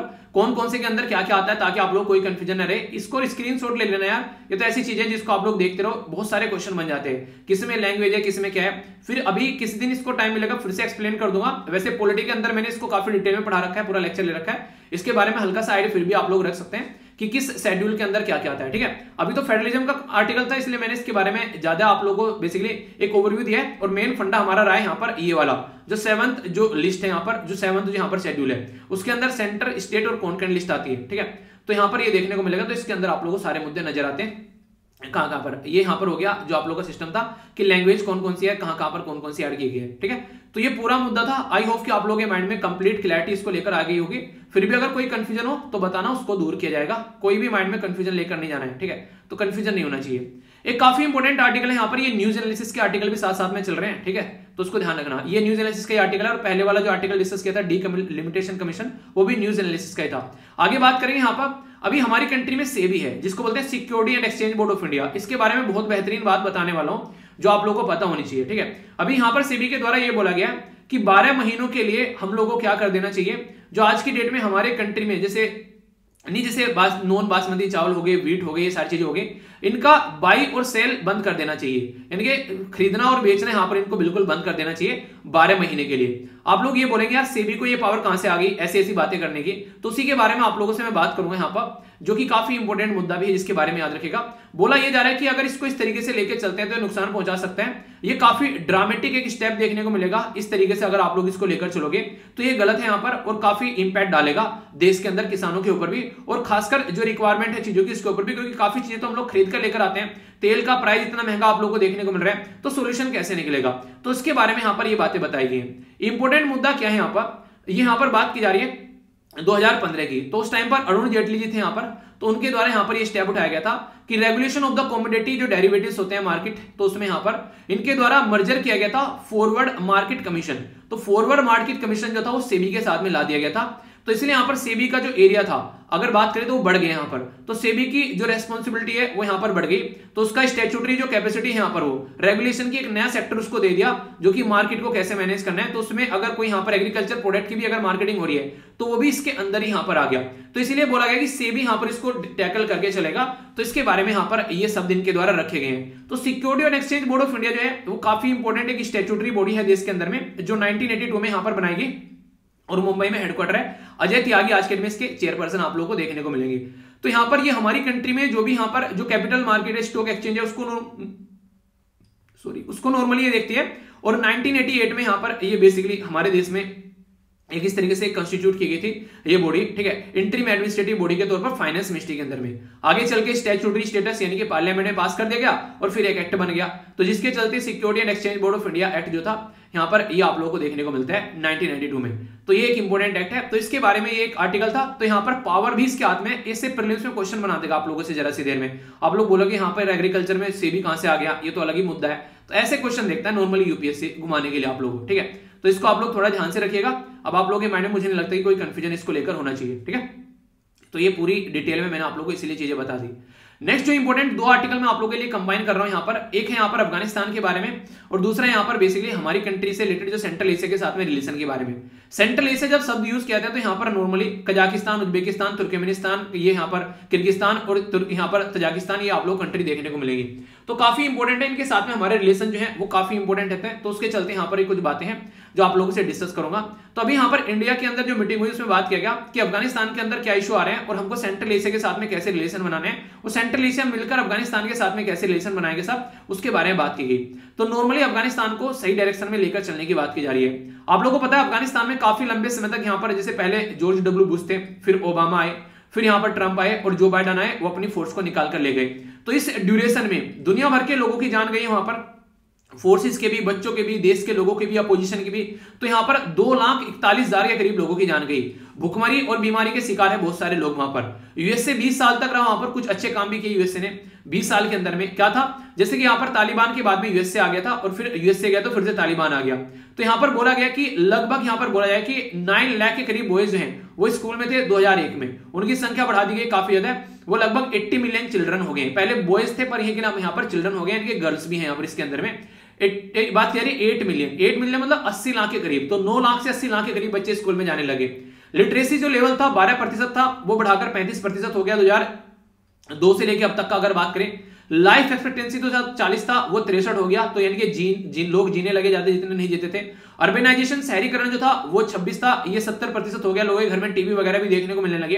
रोड रोड जो थी यहाँ पर ये लगभग 320 माइल्स थी। अब यहाँ पर 10,000 माइल्स आप लोगों को देखने को मिल रही है। इन्फेंट मोर्टेलिटी जो रेट है यहाँ पर, वो लगभग आप लोगों को देखने को मिलेगा डाउन हो गया ट्वेंटी परसेंट ठीक है? ये आप लोगों को देखने को मिलेगा। पर लेकिन अब यहाँ पर ये सारी चीज़ें फिर से रिस्क में आ गई जब से अफ़गानिस्तान में यहाँ पर तालिबान आया। तो यही है कि कैसे आप लोग इनको लेकर चलोगे? तो जो वुमेन की जो कंडीशन है, वो काफ़ी ज़्यादा खस्ता हो गई यहाँ पर। उसके बारे में बात की जा रही है। तो लड़कियाँ जो है, वो बेसिक हाशिए पे यहाँ पर आ गई है। तो वो कैसे मुद्दे को लेकर चलेंगी? तो उसके ऊपर फोकस देने की बात की जा रही है, क्योंकि ना तो जॉब्स है, ना उनको स्कूल में जाने दिया जाए सोसाइटी में भी उनका कोई पार्टिसिपेशन नहीं देखने को मिल रहा है। हर जगह यहाँ पर आप लोगों को बेसिकली देखने को मिलेगा कि मेल डोमिनेटेड सोसाइटी है। तो वुमेन को ऐसा लगता है कि वुमेन अफ़गानिस्तान के अंदर है नहीं है, उनको एलिमिनेट किया जा रहा है यहाँ पर। तो इसके चलते एक पेट्रियारिकल सोसाइटी में एक वुमेन बिल्कुल ही खत्म हो गई यहाँ पर और एक एग्रेशन भी काफ़ी ज़्यादा उनके खिलाफ देखने को मिल रहा है। कई जगह ये माना जाता है कि वुमेन के साथ में बहुत उल्टी सीधी हरकतें की जाती हैं। खासकर अगर बात करें तो यहाँ पर इनके जो अफ़गानिस्तान में तालिबान के जो लड़ाके होते हैं, ये माना जाता है किसी भी घर में जाए किसी भी वुमेन जो भी उनको पसंद आए आए उसके साथ में फ़िज़िकल रिलेशन बनाए और छोड़ दो। तो ऐसी ऐसी भी हरकतें यहाँ पर की जाती है, ऐसी भी कई सारी रिपोर्ट बाहर निकल के आई थी यानी कि अत्याचार वाली ज़िंदगी फेस कर रही है आज बहुत ज़्यादा। तो उसके लिए हम लोग कुछ कर सकते हैं, ये मिलकर इनके द्वारा बात की गई। और इसी के साथ में इंडिया के जो रिलेशन है, मैंने बताया था आप लोग यहाँ पर कि अच्छे लेवल पर हम लोग को बनाने चाहिए। ताकि यहाँ पर और अच्छे लेवल पर हम लोग कनेक्टिविटी बना सके। तो एक ये भी बात की जा रही है, इसमें डेवलपमेंट को लेकर हम लोग चल सकते हैं। चाबार पोर्ट में डेवलपमेंट करके अफ़गानिस्तान पहुँच सकते हैं। और एक और इंपॉर्टेंट है, यहाँ पर याद रखिएगा तापी पाइपलाइन के बारे में। टी ए पी आई ठीक है? टी ए पी आई इसको बोलते हैं तुर्कमेनिस्तान, अफ़गानिस्तान, पाकिस्तान और इंडिया, ठीक है? तो ये जो पाइपलाइन है यहाँ पर तुर्कमेनिस्तान से चलती है, और इंडिया तक आती है। पहले पाकिस्तान दिक्कत था, अब तालिबान भी वहाँ पर आ गया तो माना जा रहा है कि तापी चलेगी नहीं। तो इसको लेकर चल सकते हो तो सारी कंट्री को फ़ायदा होगा इससे। तो ये भी एक मुद्दा है जिसको लेकर आप लोग आगे बढ़ सकते हो। तो कोई कंफ्यूजन इनको लेकर आप लोग के माइंड में नहीं होना चाहिए। ये ऐसे इश्यूज़ है जिनको आप लोग आगे लेकर अच्छे से चल सकते हो, ठीक है? तो यहाँ पर इसके बारे में बातें की गई। तो कोई कंफ्यूजन अब इसको लेकर आप लोग के माइंड में भी नहीं होना चाहिए, जो मैंने डिटेल में आप लोगों को बताया। देखिए, चीज़ें ऐसी होती है, कई बार आप लोगों से डायरेक्ट क्वेश्चन पूछ रहे आते हैं। कई बार लिखने के लिए चीज़ें आ जाती हैं। तो आप लोग अगर हर तरीके से समझोगे तो आप लोग उसका आंसर अच्छे से दे पाओगे, ठीक है? और लेक्चर अगर अच्छा लगा करे तो आप लोग उसको ज़रूर सपोर्ट किया कीजिए। और जैसा मैंने बोला था, एक बच्चा ये बोला था कि, सर, आपके ही लेक्चर जो है बेसिकली लाइक करता हूँ। यार, सबके लेक्चर लाइक किया करो, जो भी आप लोग को अच्छे लगते हैं, ठीक है? ऐसा नहीं कि मेरे ही लाइक करने जो भी आप लोग को अच्छी लगती है, मेहनत करते हैं, कोई कम, कोई ज़्यादा पर मेहनत सब करते हैं। तो आप लोग अगर लगे अच्छी चीज़ है तो उसको अप्रिशिएट किया करो। इससे अच्छा लगता है, सामने वाले को भी मेहनत करने मज़ा आता है, ठीक है? आगे बढ़ते हैं। काफ़ी कुछ आप एक एक पॉइंट कर कर और कई सारी बातें मैं आप लोगों को यहाँ पर बताने वाला हूँ। हमारी कंट्री में जो प्रदीप रावत है यहाँ पर, वो नए एम्बेसडर बनकर आ गए। तो सॉरी हमारी कंट्री के प्रदीप रावत जो है, वो नए एम्बेसडर बनकर जा रहे हैं चाइना के, ठीक है? तो प्रदीप कुमार रावत, इनका नाम आप लोग याद रख सकते हैं। तो यहाँ पर इंडियन फॉरन सर्विसेज़ में ज्वाइन किया गया था नाइनटीन में इनके द्वारा, और प्रदीप कुमार रावत जो है, वो करेंटली यहाँ पर इन्वॉय है नीदरलैंड के अंदर में। तो अभी यहाँ पर ये जाएँगे, कहाँ पर? चाइना के अंदर में। तो ये काफ़ी इंपॉर्टेंट है यहाँ पर ये। तो सीनियर इंडियन डिप्लोमेट्स जो प्रदीप कुमार ये है, ये एक तरीके से काफ़ी इंपॉर्टेंट पर्सनैलिटी है, और चाइना के बारे में काफ़ी एक तरीके से स्टडी भी रखते हैं, ठीक है? तो यहाँ पर नेक्स्ट इंडियन एम्बेसिडर होंगे यहाँ पर। ये यहाँ पर सक्सेड करेंगे विक्रम मिश्री को, ठीक है? तो ये कुछ बातें हैं और यहाँ पर ये एक तरीके से ही was the joint secretary east Asia in ministry of external affair way Doklam border पे जब इशू था ना उस टाइम पर तो उस टाइम पर आप लोग समझ सकते हैं। तो यानी कि अच्छी खासी नॉलेज है, कई सारे एरिया को समझ चुके हैं और यहाँ पर ज़रूरी भी ऐसे ही इंसान की है, कल को चलकर अगर हम लोग को चाइना को टैकल करना है तो ऐसा ही इंसान को यहाँ पर होना चाहिए। तो इंडिया के लिए काफ़ी इंपोर्टेंट है यहाँ पर और अच्छे से चीज़ों को अंडरस्टैंड भी कर रहे हैं। तो चाइना के बारे में आप लोग बात रख सकते हैं पता ही है चाइना को टैकल करने की कोशिश की जा रही है, जैसी हरकतें भी चाइना की देखने को मिल रही है। रिसेंट कई सारे ऐसे डेवलपमेंट आप लोग को देखने को मिले, जैसे नाथुला सिक्किम के अंदर में हरकतें देखने को मिली, ठीक है। इसी के साथ में गालवान वैली यहाँ पर आमने सामने इंडिया और चाइना खत्म खड़े हो गए, जो बेसिकली टेंशन हो गई दोनों के बीच में। 59 ऐप थे चाइनीज़ हम लोगों ने वो बैन कर दिए। ये सारी चीज़ें आप लोग समझ सकते हैं। 49 थ्री मोबाइल ऐप फिर बाद में इनको बैन किया गया। हमारी कंट्री में किससे बैन किया था पता है आप लोगों को? सेक्शन यहाँ पर 69 ए इंफॉर्मेशन टेक्नोलॉजी एक्ट इसके हिसाब से बैन किए जाते हैं, ठीक है? इंडिया और चाइना जो है, उनके द्वारा फाइनली डिसाइड किया गया। अब यहाँ पर पेंगोंग पेंगोंग जो लेक नहीं थी वहाँ पर, कि वहाँ पर डिस एग्रीमेंट करेंगे। तो ये काफ़ी इंपॉर्टेंट पर्सनैलिटी इन इशू को समझते हैं। तो ऐसी पर्सनैलिटी यहाँ पर होना ज़रूरी है, अगर इसके बारे में बात करते हैं, ठीक है? एक और यहाँ पर इंपॉर्टेंट पॉइंट जो आप लोगों से पूछे जा सकते हैं यहाँ पर, ये सुपर टाइफून रे के बारे में। तो सुपर टाइफून मैंने आप लोगों को बताया भी था, यहाँ पर ये न्यूज़ कई बार आ चुके हैं। टाइफून जापान वाले एरिया में बोलते हैं, हमारे एरिया में इसको साइक्लोन बोलते हैं ह्यूरिकेन बोलते हैं यूएसए वाले एरिया में। तो जो टाइफून है यहाँ पर ये ये जो रे टाइफून आप लोग को देखने को मिल रहा है फिलिपिन वाले एरिया में तो ये काफ़ी ज़्यादा इंपैक्ट यहाँ पर डाल रहा है और बोला जा रहा है कि इस एरिया में नॉर्मली ये पंद्रहवें नंबर का है, ऐसा नहीं कि पहला आ रहा है। और इसकी इंटेंसिटी जो है 120 माइल पर आर आप लोगों को देखने को मिलेगी नॉर्मली और ये कैटेगरी फाइव में यहाँ पर जैसे ह्यूरिकन नहीं होते हैं यूएसए वाले में उसको ह्यूरिकन बोल देते हैं। और ऑस्ट्रेलिया वाले में क्या बोलते हैं बताइए जरा, इतनी बार बता चुका हूँ। तो ये ये है टाइफून रे टाइफून रे को यहाँ पर टाइफून ओडेटे भी बोला गया है बेसिकली अगर फिलीपीन में आप लोग बात करेंगे इसके बारे में तो लोकल एरिया में ये बुकारा जा रहा है इसको, ठीक है? काफ़ी इंपैक्ट डाल रहे हैं यहाँ पर, और जो यहाँ पर पालो ये पर्टिकुलर एरिया पर भी यहाँ पर इंपैक्ट डालता हुआ नज़र आ रहा है। तो ये कुछ बातें हैं इसके बारे में जो हल्का सा आइडिया रख सकते हैं। एंटी कन्वर्जन बिल के बारे में बात की जा रही है। यहाँ पर अभी फ़िलहाल रिसेंटली आप लोगों ने देखा, उत्तर प्रदेश के अंदर भी ऐसा कुछ बिल लाया गया। तो यानी कोई अगर कन्वर्ट होता है एक रीजन से दूसरे रीजन पे, उसके खिलाफ यहाँ पर ये चीज़ें रोकने की कोशिश की जाती है। तो ये इंपॉर्टेंट कुछ इश्यूज़ हैं जो कि रेगुलरली आप लोगों को न्यूज़ में देखने को मिलते हैं, ठीक है? तो इसके बारे में एक मोटा मोटा आइडिया आप लोग रख सकते हैं। क्वेश्चन बन जाता है तो कंफ्यूजन आप लोग को नहीं होना चाहिए, अगर क्वेश्चन बनता है। तो बेसिक इन्फॉर्मेशन है, आप लोग को आइडिया रहेगा तो आप लोग समझ पाएँगे उसको, ठीक है? एक देखिए ईश्वेस के ऊपर एडिटोरियल आएगा टेंशन मत लेना इंडिया और श्रीलंका के रिलेशन के बारे में, ठीक है? तो अब एक हल्का सा ओवरव्यू मैंने आप लोगों को दिया था, पर लेकिन ऐसा टॉपिक है जो कि आगे अभी और अच्छे से डेवलप होगा। वो नहीं कहते बच्चा है अभी, इसको और डेवलप होने दो। तो फिर और डिटेल में मैं आप लोगों से डिस्कस करूँगा। तो थोड़ी देर इसको आप लोग वेट कर लेना। काफ़ी डिटेल में मैं आप लोगों इसके बारे में, बिल्कुल एडिटोरियल में जब व्यूज़ भी आ जाएँगे ना, उस टाइम पर मैं आप लोग अच्छे से इसके बारे में बताऊँगा ढंग से, ताकि सारी चीज़ें जो है आप लोग के माइंड में क्लियर हो जाए, ठीक है? तो वहाँ पर इसको अच्छे से समझ लेंगे हम लोग। इसके बारे में आप लोगों का क्या मानना है? अभी बोला गया हाईकोर्ट के अंदर एक पिटिशन गई कि मुगल फोर्ट जो है, उसको उनके लोगों को दे दिया जाए, जो यहाँ पर बहादुर शाह जाफ़र के मतलब एक तरीके से नहीं, वंशज के लोग हैं। तो ये पिटिशन गई। तो पिटिशन रिजेक्ट कर दी गई। कल को कोई इसी तरीके से मान लीजिए बोलने लगा कि मुझे ताजमहल दे दो। अभी यहाँ पर रेड फोर्ट मांग रहे हैं, ठीक है? तो ये सारी चीज़ें हैं। आप लोग क्या रहे हैं यहाँ पर? उनको मिलना चाहिए या फिर ये एक तरीके से पब्लिक प्रॉपर्टी के तरीके से यहाँ पर होना चाहिए सबके लिए? तो यहाँ पर ये रिक्वेस्ट जो है, एक साल से यहाँ पर चल रही है, ठीक है? तो यहाँ पर, जो यहाँ पर रिक्वेस्ट जो है, काफ़ी लंबे समय से चल रही है तो ये आप लोग क्या लगता है ऐसा कुछ होना चाहिए? तो उसके बारे में बात की जा रही है। नेक्स्ट यहाँ पर आप लोग को देखने को मिलेगा बेमिस्टिक के बारे में। ये एक छोटी सी एक ऑर्गेनाइजेशन आप लोगों को देखने को मिलेगी, जिसके अंदर कौन कौन आता है? इसके अंदर आता है भूटान, नेपाल, म्यांमार, श्रीलंका, थाईलैंड और इसी के साथ में इंडिया, ठीक है? तो ये जो ऑर्गेनाइजेशन है यहाँ पर, ये मिलकर काम करती है और खासकर ये जो ऑर्गेनाइजेशन जैसी आई बिम्स्टेक के बारे में बोला, ठीक है? तो नेपाल हो गया, भूटान हो गया, ठीक है? इसी के साथ में बांग्लादेश हो गया, यहाँ पर आप लोग को म्यांमार देखने को मिलेगा, ओके? यहाँ पर श्रीलंका आप लोगों को यहाँ पर नज़र आ रहा है नीचे, और यहाँ पर थाईलैंड भी आप लोगों को देखने को मिलेगा इधर, और ये इंडिया हो गया। तो ये कंट्री आप लोगों को यहाँ पर नज़र आएँगी। तो 1997 में इसको बैंकॉक डिक्लेरेशन के थ्रू यहाँ पर बनाया गया था, ठीक है?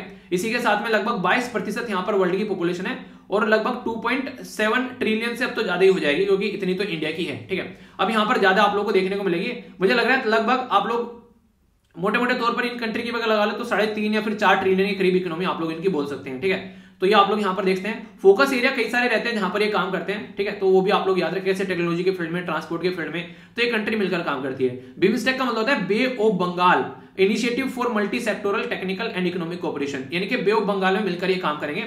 उसके नाम पर यहाँ पर इनके द्वारा ये बातें बोली गई है, ठीक है? तो यहाँ पर ज्वाइंट रिलीफ के बारे में बात की जा रही है प्लान तो उसी के चलते यहाँ पर ये न्यूज़ में है, ठीक है? तो आर्मी चीफ कौन है हमारे? मनोज नरवाने साहब है, इनके द्वारा यहाँ पर ये बातें बोली गई है। फ्यूजिटिव इकोनॉमिक ऑफेंडर जो है, उनसे पैसा काफ़ी रिकवर हो गया, ये बता रही है हमारी फाइनेंस मिनिस्टर तो ये अच्छी बात है अप्रिशिएट करने लायक बात है। बाकी एक और आर्टिकल है यहाँ पर, ये यहाँ पर इसलिए ऐश्वर्या राय को समन किया गया, ठीक है? तो उसके चलते इन्फोर्समेंट डायरेक्टरेट जो है, उनको यहाँ पर बेसिकली उनसे क्वेश्चन कर रहे हैं। हालाँकि पहले इनसे क्वेश्चन पूछे गए थे तो ये इनका ऑलरेडी रिप्लाई कर चुकी थी रिटर्न में थे वो आंसर मतलब ऐसे पूछे गए थे। अब यहाँ पर इनको समन किया गया। तो पनामा पेपर लीक का ये पूरा केस है। आप लोग इसको सुनिए अच्छे से, जो आगे मैं आप लोगों को पढ़ाने वाला हूँ। अगर आप लोगों ने कल वीडियो देखा है, जिसके ऊपर मैंने बताया था तो आप लोग इसको स्किप कर सकते हैं, वरना आप लोग इसको देखिए, जिस किसी ने नहीं देखा, ताकि डिटेल में आप लोग को क्लियर ये चीज़ें हो जाए, ठीक है? तो ईडी क्या होता है पनामा पेपर लीक क्या है, वो सारी बातें आप लोग को डिटेल में मैं एक्सप्लेन करूँगा यहाँ पर, ठीक है? दोस्तों, अभी एक डेढ़ घंटे पहले न्यूज़ आई और ये न्यूज़ जो है ट्विटर पर ट्रेंड भी करने लगी। Hashtag Aishwarya Rai Bachchan. आखिर क्या हुआ यहाँ पर? ऐश्वर्या राय बच्चन का नाम ट्रेंड क्यों कर रहा है? तो यहाँ पर ये आप लोग अगर इसको देखेंगे तो तुरंत आप लोग को पता चलेगा पनामा पेपर लीक तो पनामा पेपर लीक क्या है यहाँ पर? और इसी के चक्कर में, हमारी कंट्री में एक ऑर्गेनाइजेशन है, जिसको बोलते हैं आप लोग यहाँ पर इन्फोर्समेंट डायरेक्टरेट तो इन्फोर्समेंट डायरेक्टरेट के द्वारा इनको क्वेश्चनिंग के लिए बुलाया गया है। हालाँकि पहले भी यहाँ पर इनसे क्वेश्चन पूछे गए थे, पर उनका आंसर इनके द्वारा दे दिया गया था। पर अभी जो है इनको यहाँ पर बुलाया गया है क्वेश्चनिंग के लिए। तो अब यहाँ पर देखते हैं क्या चीज़ें अभी आगे यहाँ पर बनती हैं। अब आप लोग बोलेंगे कि हमारे किस काम का है यहाँ पर ये, अगर इसके बारे में बातें करें तो उसके लिए आप लोगों के लिए काफ़ी इंपॉर्टेंट टॉपिक यहाँ पर बन जाएगा। अगर आप लोग बात करते हैं इन्फोर्समेंट डायरेक्टरेट ये एक ऐसी बॉडी है जो कि कई बार न्यूज़ में रहती है। तो इसके बारे में डिटेल में आप लोगों से बात करूँगा पनामा पेपर लीक के बारे में बात करूँगा। क्योंकि ये जीएस पेपर टू और इसी के साथ में प्रीलिम्स के अंदर भी जो आप लोग की स्टैचुटरी रेगुलेटरी या फिर जो अलग अलग बॉडीज हैं क्वाजाई जुडिशियल बॉडी उनसे रिलेटेड जो भी कॉन्ट्रोवर्सी है, या फिर उनका अगर मिसयूज भी होता है तो उसके बारे में यहाँ पर सारी बातें पेपर का पार्ट है आप लोग का जीएस टू का। प्रीलिम्स के लिए इनके ऑब्जेक्टिव या फ़ंक्शन कंपोजिशन वगैरह पूछ ले आते हैं तो ये आप लोग को देखने को मिलेगा। देश के अंदर सारे न्यूज़पेपर जो भी हैं, सबके द्वारा यहाँ पर इस न्यूज़ को कवर किया जा रहा है तो इसके चलते यहाँ पर सबसे पहले मैं आप लोगों से बात करूँगा पनामा पेपर लीक के बारे में। तो पहले इसको समझते हैं और देखते हैं आखिर ये क्या मुद्दा है। बात की जा रही है यहाँ पर पनामा पेपर। तो आखिर है क्या ये पनामा पेपर? देखिए, हुआ क्या था बेसिकली बहुत सारे डॉक्यूमेंट्स अगर किसी भी इंफॉर्मेशन से रिलेटेड लेंगे, अगर मान लीजिए आप लोगों के घर में भी बहुत सारे डॉक्यूमेंट्स होंगे, आप लोगों की टेंथ ट्वेल्थ वो सारी मार्कशीट वगैरह एक जगह आप लोगों ने रखी होगी तो अगर वहाँ से उसको कोई निकाल के तो किसी को पकड़ा दे तो उससे क्या होगा? आप लोग की सारी डिटेल इन्फॉर्मेशन बाहर आ जाएगी। कौन से सब्जेक्ट में कौन से नंबर थे? आखिर किस स्कूल या किस कॉलेज में पढ़ा करते थे? तो सारी इन्फॉर्मेशन पब्लिक में आ जाएगी। ऐसे ही जब आप लोग किसी भी बैंक में या फिर किसी भी कंपनी के अंदर कहीं पर कोई अपना पैसा ले जाकर रखते हैं, उसका सारा जो डॉक्यूमेंटेशन है वो कहीं ना कहीं होगा। तो अगर वो लीक हो जाए तो पता चल जाएगा कहाँ कहाँ पर आप लोगों ने अपने कितने पैसे रख रखे हैं। और खासकर अगर वो पैसा कोई चोरी कर कर टैक्स से बचा कर रख रखा है वहाँ पर तो उसको और ज़्यादा यहाँ पर कॉन्ट्रोवर्सी का रीजन बन जाता है। तो यहाँ पर जब पनामा पेपर ये बेसिकली लीक हुआ, यहाँ पर जो ये मुद्दा निकल कर आया तो ये पूरा मुद्दा हुआ यहाँ पर पनामा के अंदर। तो पनामा अगर मैं आप लोगों से बोलूँ, एक पर्टिकुलर लोकेशन है। अगर आप लोग देखना चाहते हैं एग्जैक्ट आप लोगों के सामने यहाँ पर ये पनामा कैनाल का भी नाम आप लोगों ने सुना होगा। पनामा सिटी भी है यहाँ पर ये। तो ये पर्टिकुलर लोकेशन आप लोगों के सामने, ठीक है? तो ये सेंट्रल अमेरिकन कंट्री आप लोगों को यहाँ पर देखने को मिलेगी। तो इस पर्टिकुलर रीजन के अंदर से यहाँ पर ये इन्फॉर्मेशन निकल के आई।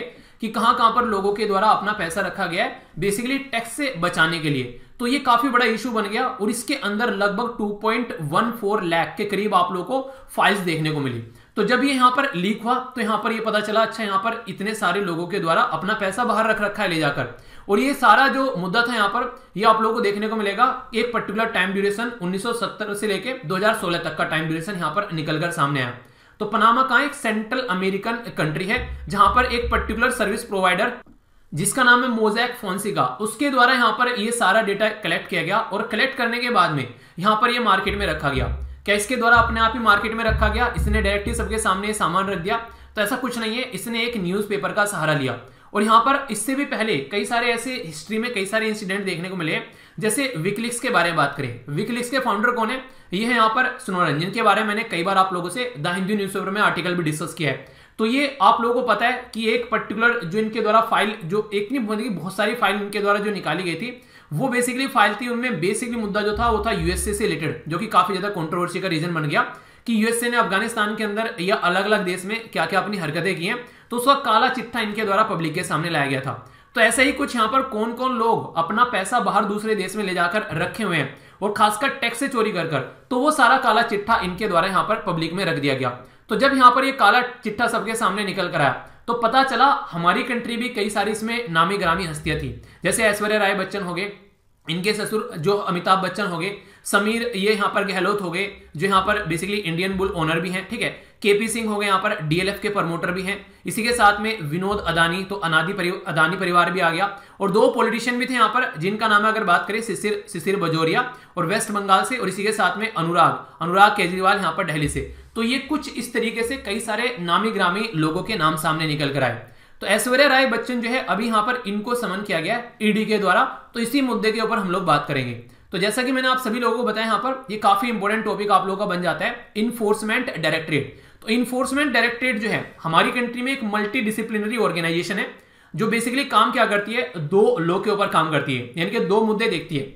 एक तो है फॉरेन एक्सचेंज मैनेजमेंट एक्ट जो कि उन्नीस सौ निन्यानवे का है शॉर्ट फॉर्म में फीमा बोलते हैं। दूसरा है prevention of money laundering act ये 2002 का है जिसको पीएमएलए आप लोग बोलते हैं। तो ये दोनों एक्ट जो है इसको थोड़ा सा मैं आप, आप लोगों को डिटेल में बात करूँगा इनके बारे में। आगे बढ़ने से पहले थोड़ा सा बैकग्राउंड समझ लेते हैं इस बॉडी का। तो बोलते हैं इसको इन्फोर्समेंट डायरेक्टरेट ईडी बोलते हैं आज की डेट में। पर लेकिन ये जब बनाई गई फ़र्स्ट में 1956 यानी कि 1956 में जब बनाई गई इसको इन्फोर्समेंट यूनिट के तौर पर यहाँ पर यूज़ किया जाता था डिपार्टमेंट ऑफ़ इकोनॉमिक अफेयर के द्वारा।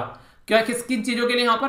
देखिए, कोई भी अगर फॉरेन एक्सचेंज अगर कोई दिक्कत होती थी फॉरेन में कोई एक्सचेंज करें उससे रिलेटेड रूल और रेगुलेशन की, कोई भी यहाँ पर चीज़ें होती थी तो उसको कंट्रोल करते थे। तो 1947 में यहाँ पर इसको basically FERA F E R A यानी कि फॉरेन एक्सचेंज रेगुलेशन एक्ट के नाम से आप लोग इसको जानते थे। वैसे अगर कोई भी बॉडी होती है तो आप लोगों को पता है, जो कोई ऐसे मुद्दों को देखती है, वो काफ़ी एक हॉट न्यूज़ में रहने वाली बॉडी बन जाती है। तो इसीलिए कई सारे बेसिकली डिपार्टमेंट के अंदर घूमती रही।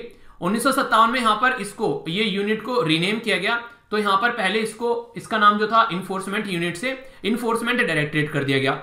इसका जो एडमिनिस्ट्रेटिव कंट्रोल था, वो बेसिकली ट्रांसफ़र कर दिया डिपार्टमेंट ऑफ़ इकोनॉमिक अफेयर से डिपार्टमेंट ऑफ़ रिवेन्यू के अंदर में। तो इकोनॉमी से रिवेन्यू में आ गया, क्योंकि रिवेन्यू मैटर को देखती है 1960 में। और यहाँ पर एक शॉर्ट टाइम ऑफ़ पीरियड के लिए, लगभग चार साल के लिए यहाँ पर ये 1973 से लेकर 1977 तक तो ये यहाँ पर एडमिनिस्ट्रेटिव जो जुडिक्शन है, ये कंट्रोल में रही डिपार्टमेंट ऑफ़ पर्सनल और एडमिनिस्ट्रेटिव रिफॉर्म के अंडर भी यहाँ पर ये कुछ टाइम के लिए रखी गई।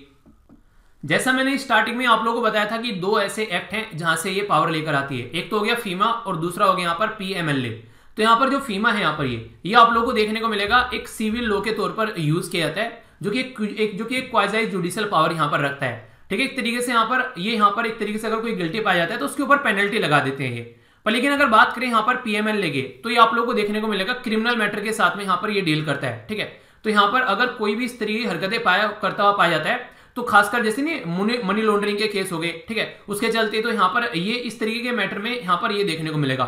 मनी लॉन्ड्रिंग का मतलब क्या होता है बेसिकली अगर मोटे मोटे तौर पर बोला जाए, कई बार आप लोगों ने एक शब्द सुना होगा ब्लैक मनी ब्लैक मनी कुछ नहीं होता है, बस टैक्स से बचाई गई मनी होती है कि टैक्स ना पे करना पड़े। तो यहाँ पर उसको क्या करते हैं? फिर यहाँ पर गलत तरीके से जो कमाई गई पैसा, उसको फिर क्या करते हैं? उसको सिस्टम में लाने की कोशिश करते हैं। तो नहीं करते? कपड़े में आप लोगों ने कपड़े दे दिए धुलने के लिए तो कि लॉन्ड्रिंग में दे देना उसको। तो वो वाली बात है इस तरीके से तो वो वाला फंडा देखने को मिलेगा। और यही सिस्टम यहाँ पर इंप्लीमेंट किया था इसमें। तो इसको रोकने की कोशिश की जाती है पीएमएलए के द्वारा। तो इसलिए दोनों एक्ट का नाम याद रखेगा फॉरन एक्सचेंज मैनेजमेंट एक्ट 1999 और prevention of the money laundering act यहाँ पर 2002 तो फॉरन में कोई एक्सचेंज हो रहा है तो ये वाला हो गया, और यहाँ पर मनी लॉन्ड्रिंग वाला ये हो गया। तो पहले वाला सिविल और दूसरे वाला क्रिमिनल कैटेगरी में यहाँ पर आ गया। जैसे प्रीलिम्स के अंदर आप लोग जाएँगे तो कंपोजिशन का पार्ट पूछ लेते हैं। तो डायरेक्टली यहाँ पर जो रिक्रूट पर्सनल है, उनके अलावा आप लोग को देखने को मिलेंगे। कई सारे डिपार्टमेंट से यहाँ पर लोग भी आप लोग को आते हुए नज़र आएँगे। जैसे कस्टम एंड सेंट्रल एक्साइज से इनकम टैक्स से पुलिस से अलग अलग डेपुटेशन पे भी यहाँ पर बेसिकली अपना डेपुटेशन काटने के लिए भी यहाँ पर ऑफिसर्स आते हैं। अगर बात करें यहाँ पर प्रोसेसिंग जो केस होते हैं, जो फ्यूजेटिव आप लोगों ने सुना फ्यूजेटिव इकोनॉमिक ऑफेंडर जैसे मालवीय का नाम सुना था, ठीक है? नीरव मोदी का नाम सुना। तो इस तरीके के जो केसेस हैं यहाँ पर, वो यहाँ पर इस कैटेगरी में देखने को मिलेंगे। एक यहाँ पर पर्टिकुलर एक्ट आप लोगों को नज़र आएगा, जिसको बोलते हैं यहाँ पर conservation of foreign exchange and the prevention of smuggling activity act ये 1974 का। तो ये अगर यहाँ पर कोई भी एक तरीके से उल्लंघन करता हुआ पाया जाता है फीमा का इसके थ्रू भी तो उसको भी यहाँ पर ये पर्टिकुलर बॉडी जो है अपने कंट्रोल में रखती है उस पर्टिकुलर मुद्दे को भी। इसके अंदर अगर कोई केस चलेगा तो सेक्शन फोर है यहाँ पर पीएमएलए का तो उसके तहत यहाँ पर केस देखने को मिलेगा। और अगर किसी के खिलाफ यहाँ पर ये केस चलता है तो उस एरिया का जो भी चीफ जस्टिस ऑफ़ हाईकोर्ट होता है, उसके साथ में कंसल्ट किया जाता है। तो यहाँ पर जो इसको हम लोग सेशन कोर्ट का नाम देते हैं session court as a special court के तौर पर, और इसको पीएमएलए कोर्ट का नाम भी आप लोग जानते हैं। तो पीएमएलए कोर्ट लिखा मिले तो कंफ्यूज मत हो जाना। बाकी यहाँ पर अगर कोई यहाँ पर इसके डिसीज़न से सहमत नहीं है तो डायरेक्टली यहाँ पर हाई कोर्ट के अंदर भी जाकर अपनी बातें रख सकता है। डायरेक्टली अगर उसको लगता है कि यहाँ से वो सहमत नहीं है तो ये भी यहाँ पर ये अलाउ करता है। तो ये था पूरा मुद्दा। मैंने पूरा डिटेल में बता दिया। पनामा पेपर लीक क्या था और क्या क्या मुद्दा है। तो इसके साथ में इस लेक्चर को समाप्त करते हैं। कोई भी डाउट हो, कोई भी दिक्कत हो तो बताएगा, फिर आगे द हिंदू न्यूज़पेपर के डिस्कशन में आर्टिकल आएँगे और डिटेल में इसको अच्छे से कवर कर लेंगे। तो मिलता हूँ नेक्स्ट लेक्चर में, तब तक अपना ध्यान रखिए, बड़ों को नमस्ते, छोटों को प्यार, छोटी सी लाइफ एंजॉय करार। मिलता हूँ नेक्स्ट लेक्चर में, तब तक के लिए जय हिंद। तो समझ में आ गया, कोई भी डाउट आप लोगों को नहीं होना चाहिए इसके बारे में, बिल्कुल माइंड में सारी बातें क्लियर होनी चाहिए, ठीक है? और जो क्वेश्चन आप लोगों से मैंने पूछा था, उसका आंसर आप लोगों को देना था बेसिकली और हाँ कल के जो क्वेश्चन है, उनको मैंने पिन कर दिया था कल की ही वीडियो के नीचे, ठीक है? तो काफ़ी अच्छे आंसर दिए गए थे कई सारे बच्चों के द्वारा। तो एक बच्चे का मैंने आंसर भी पिन किया था, आप लोग जाकर उसको देखेगा। आप लोग को बहुत सारी चीज़ें जो है वहाँ पर समझ में आएगी। और आप लोग चीज़ों को आंसर ज़रूर देखा करो, उससे आप लोग चीज़ों को अंडरस्टैंड कर पाते हो। इसका आंसर यहाँ पर ए था। ट्वेंटी थर्ड आर्टिकल आप लोग को देखने को मिलेगा जब ट्रैफिकिंग के बारे में बात करते हैं। ट्वेंटी फोर किसके बारे में बात करते हैं? तो यहाँ पर ये बेसिकली बात करते हैं चाइल्ड लेबर को रोकने के लिए। और 2526 केस के बारे में आप लोग बताइए। सारी बातें आप लोगों की क्लियर हो जाएँगी, ठीक है? तो ये था टोटल आज का डिस्कशन कैसा लगा? इसी के साथ में ये है सुडो को आप लोग जाकर इनको सोल्व कर लेना। कोई कंफ्यूजन आप लोग को नहीं होना चाहिए। तो नेक्स्ट लेक्चर में मिलता हूँ, तब तक अपना ध्यान रखिए। बुड़ो को नमस्ते छोड़ो को प्यार, छोटी सी लाइफ एंजॉय कर यार। मिलता हूँ नेक्स्ट लेक्चर में, तब तक के लिए जय हिंद।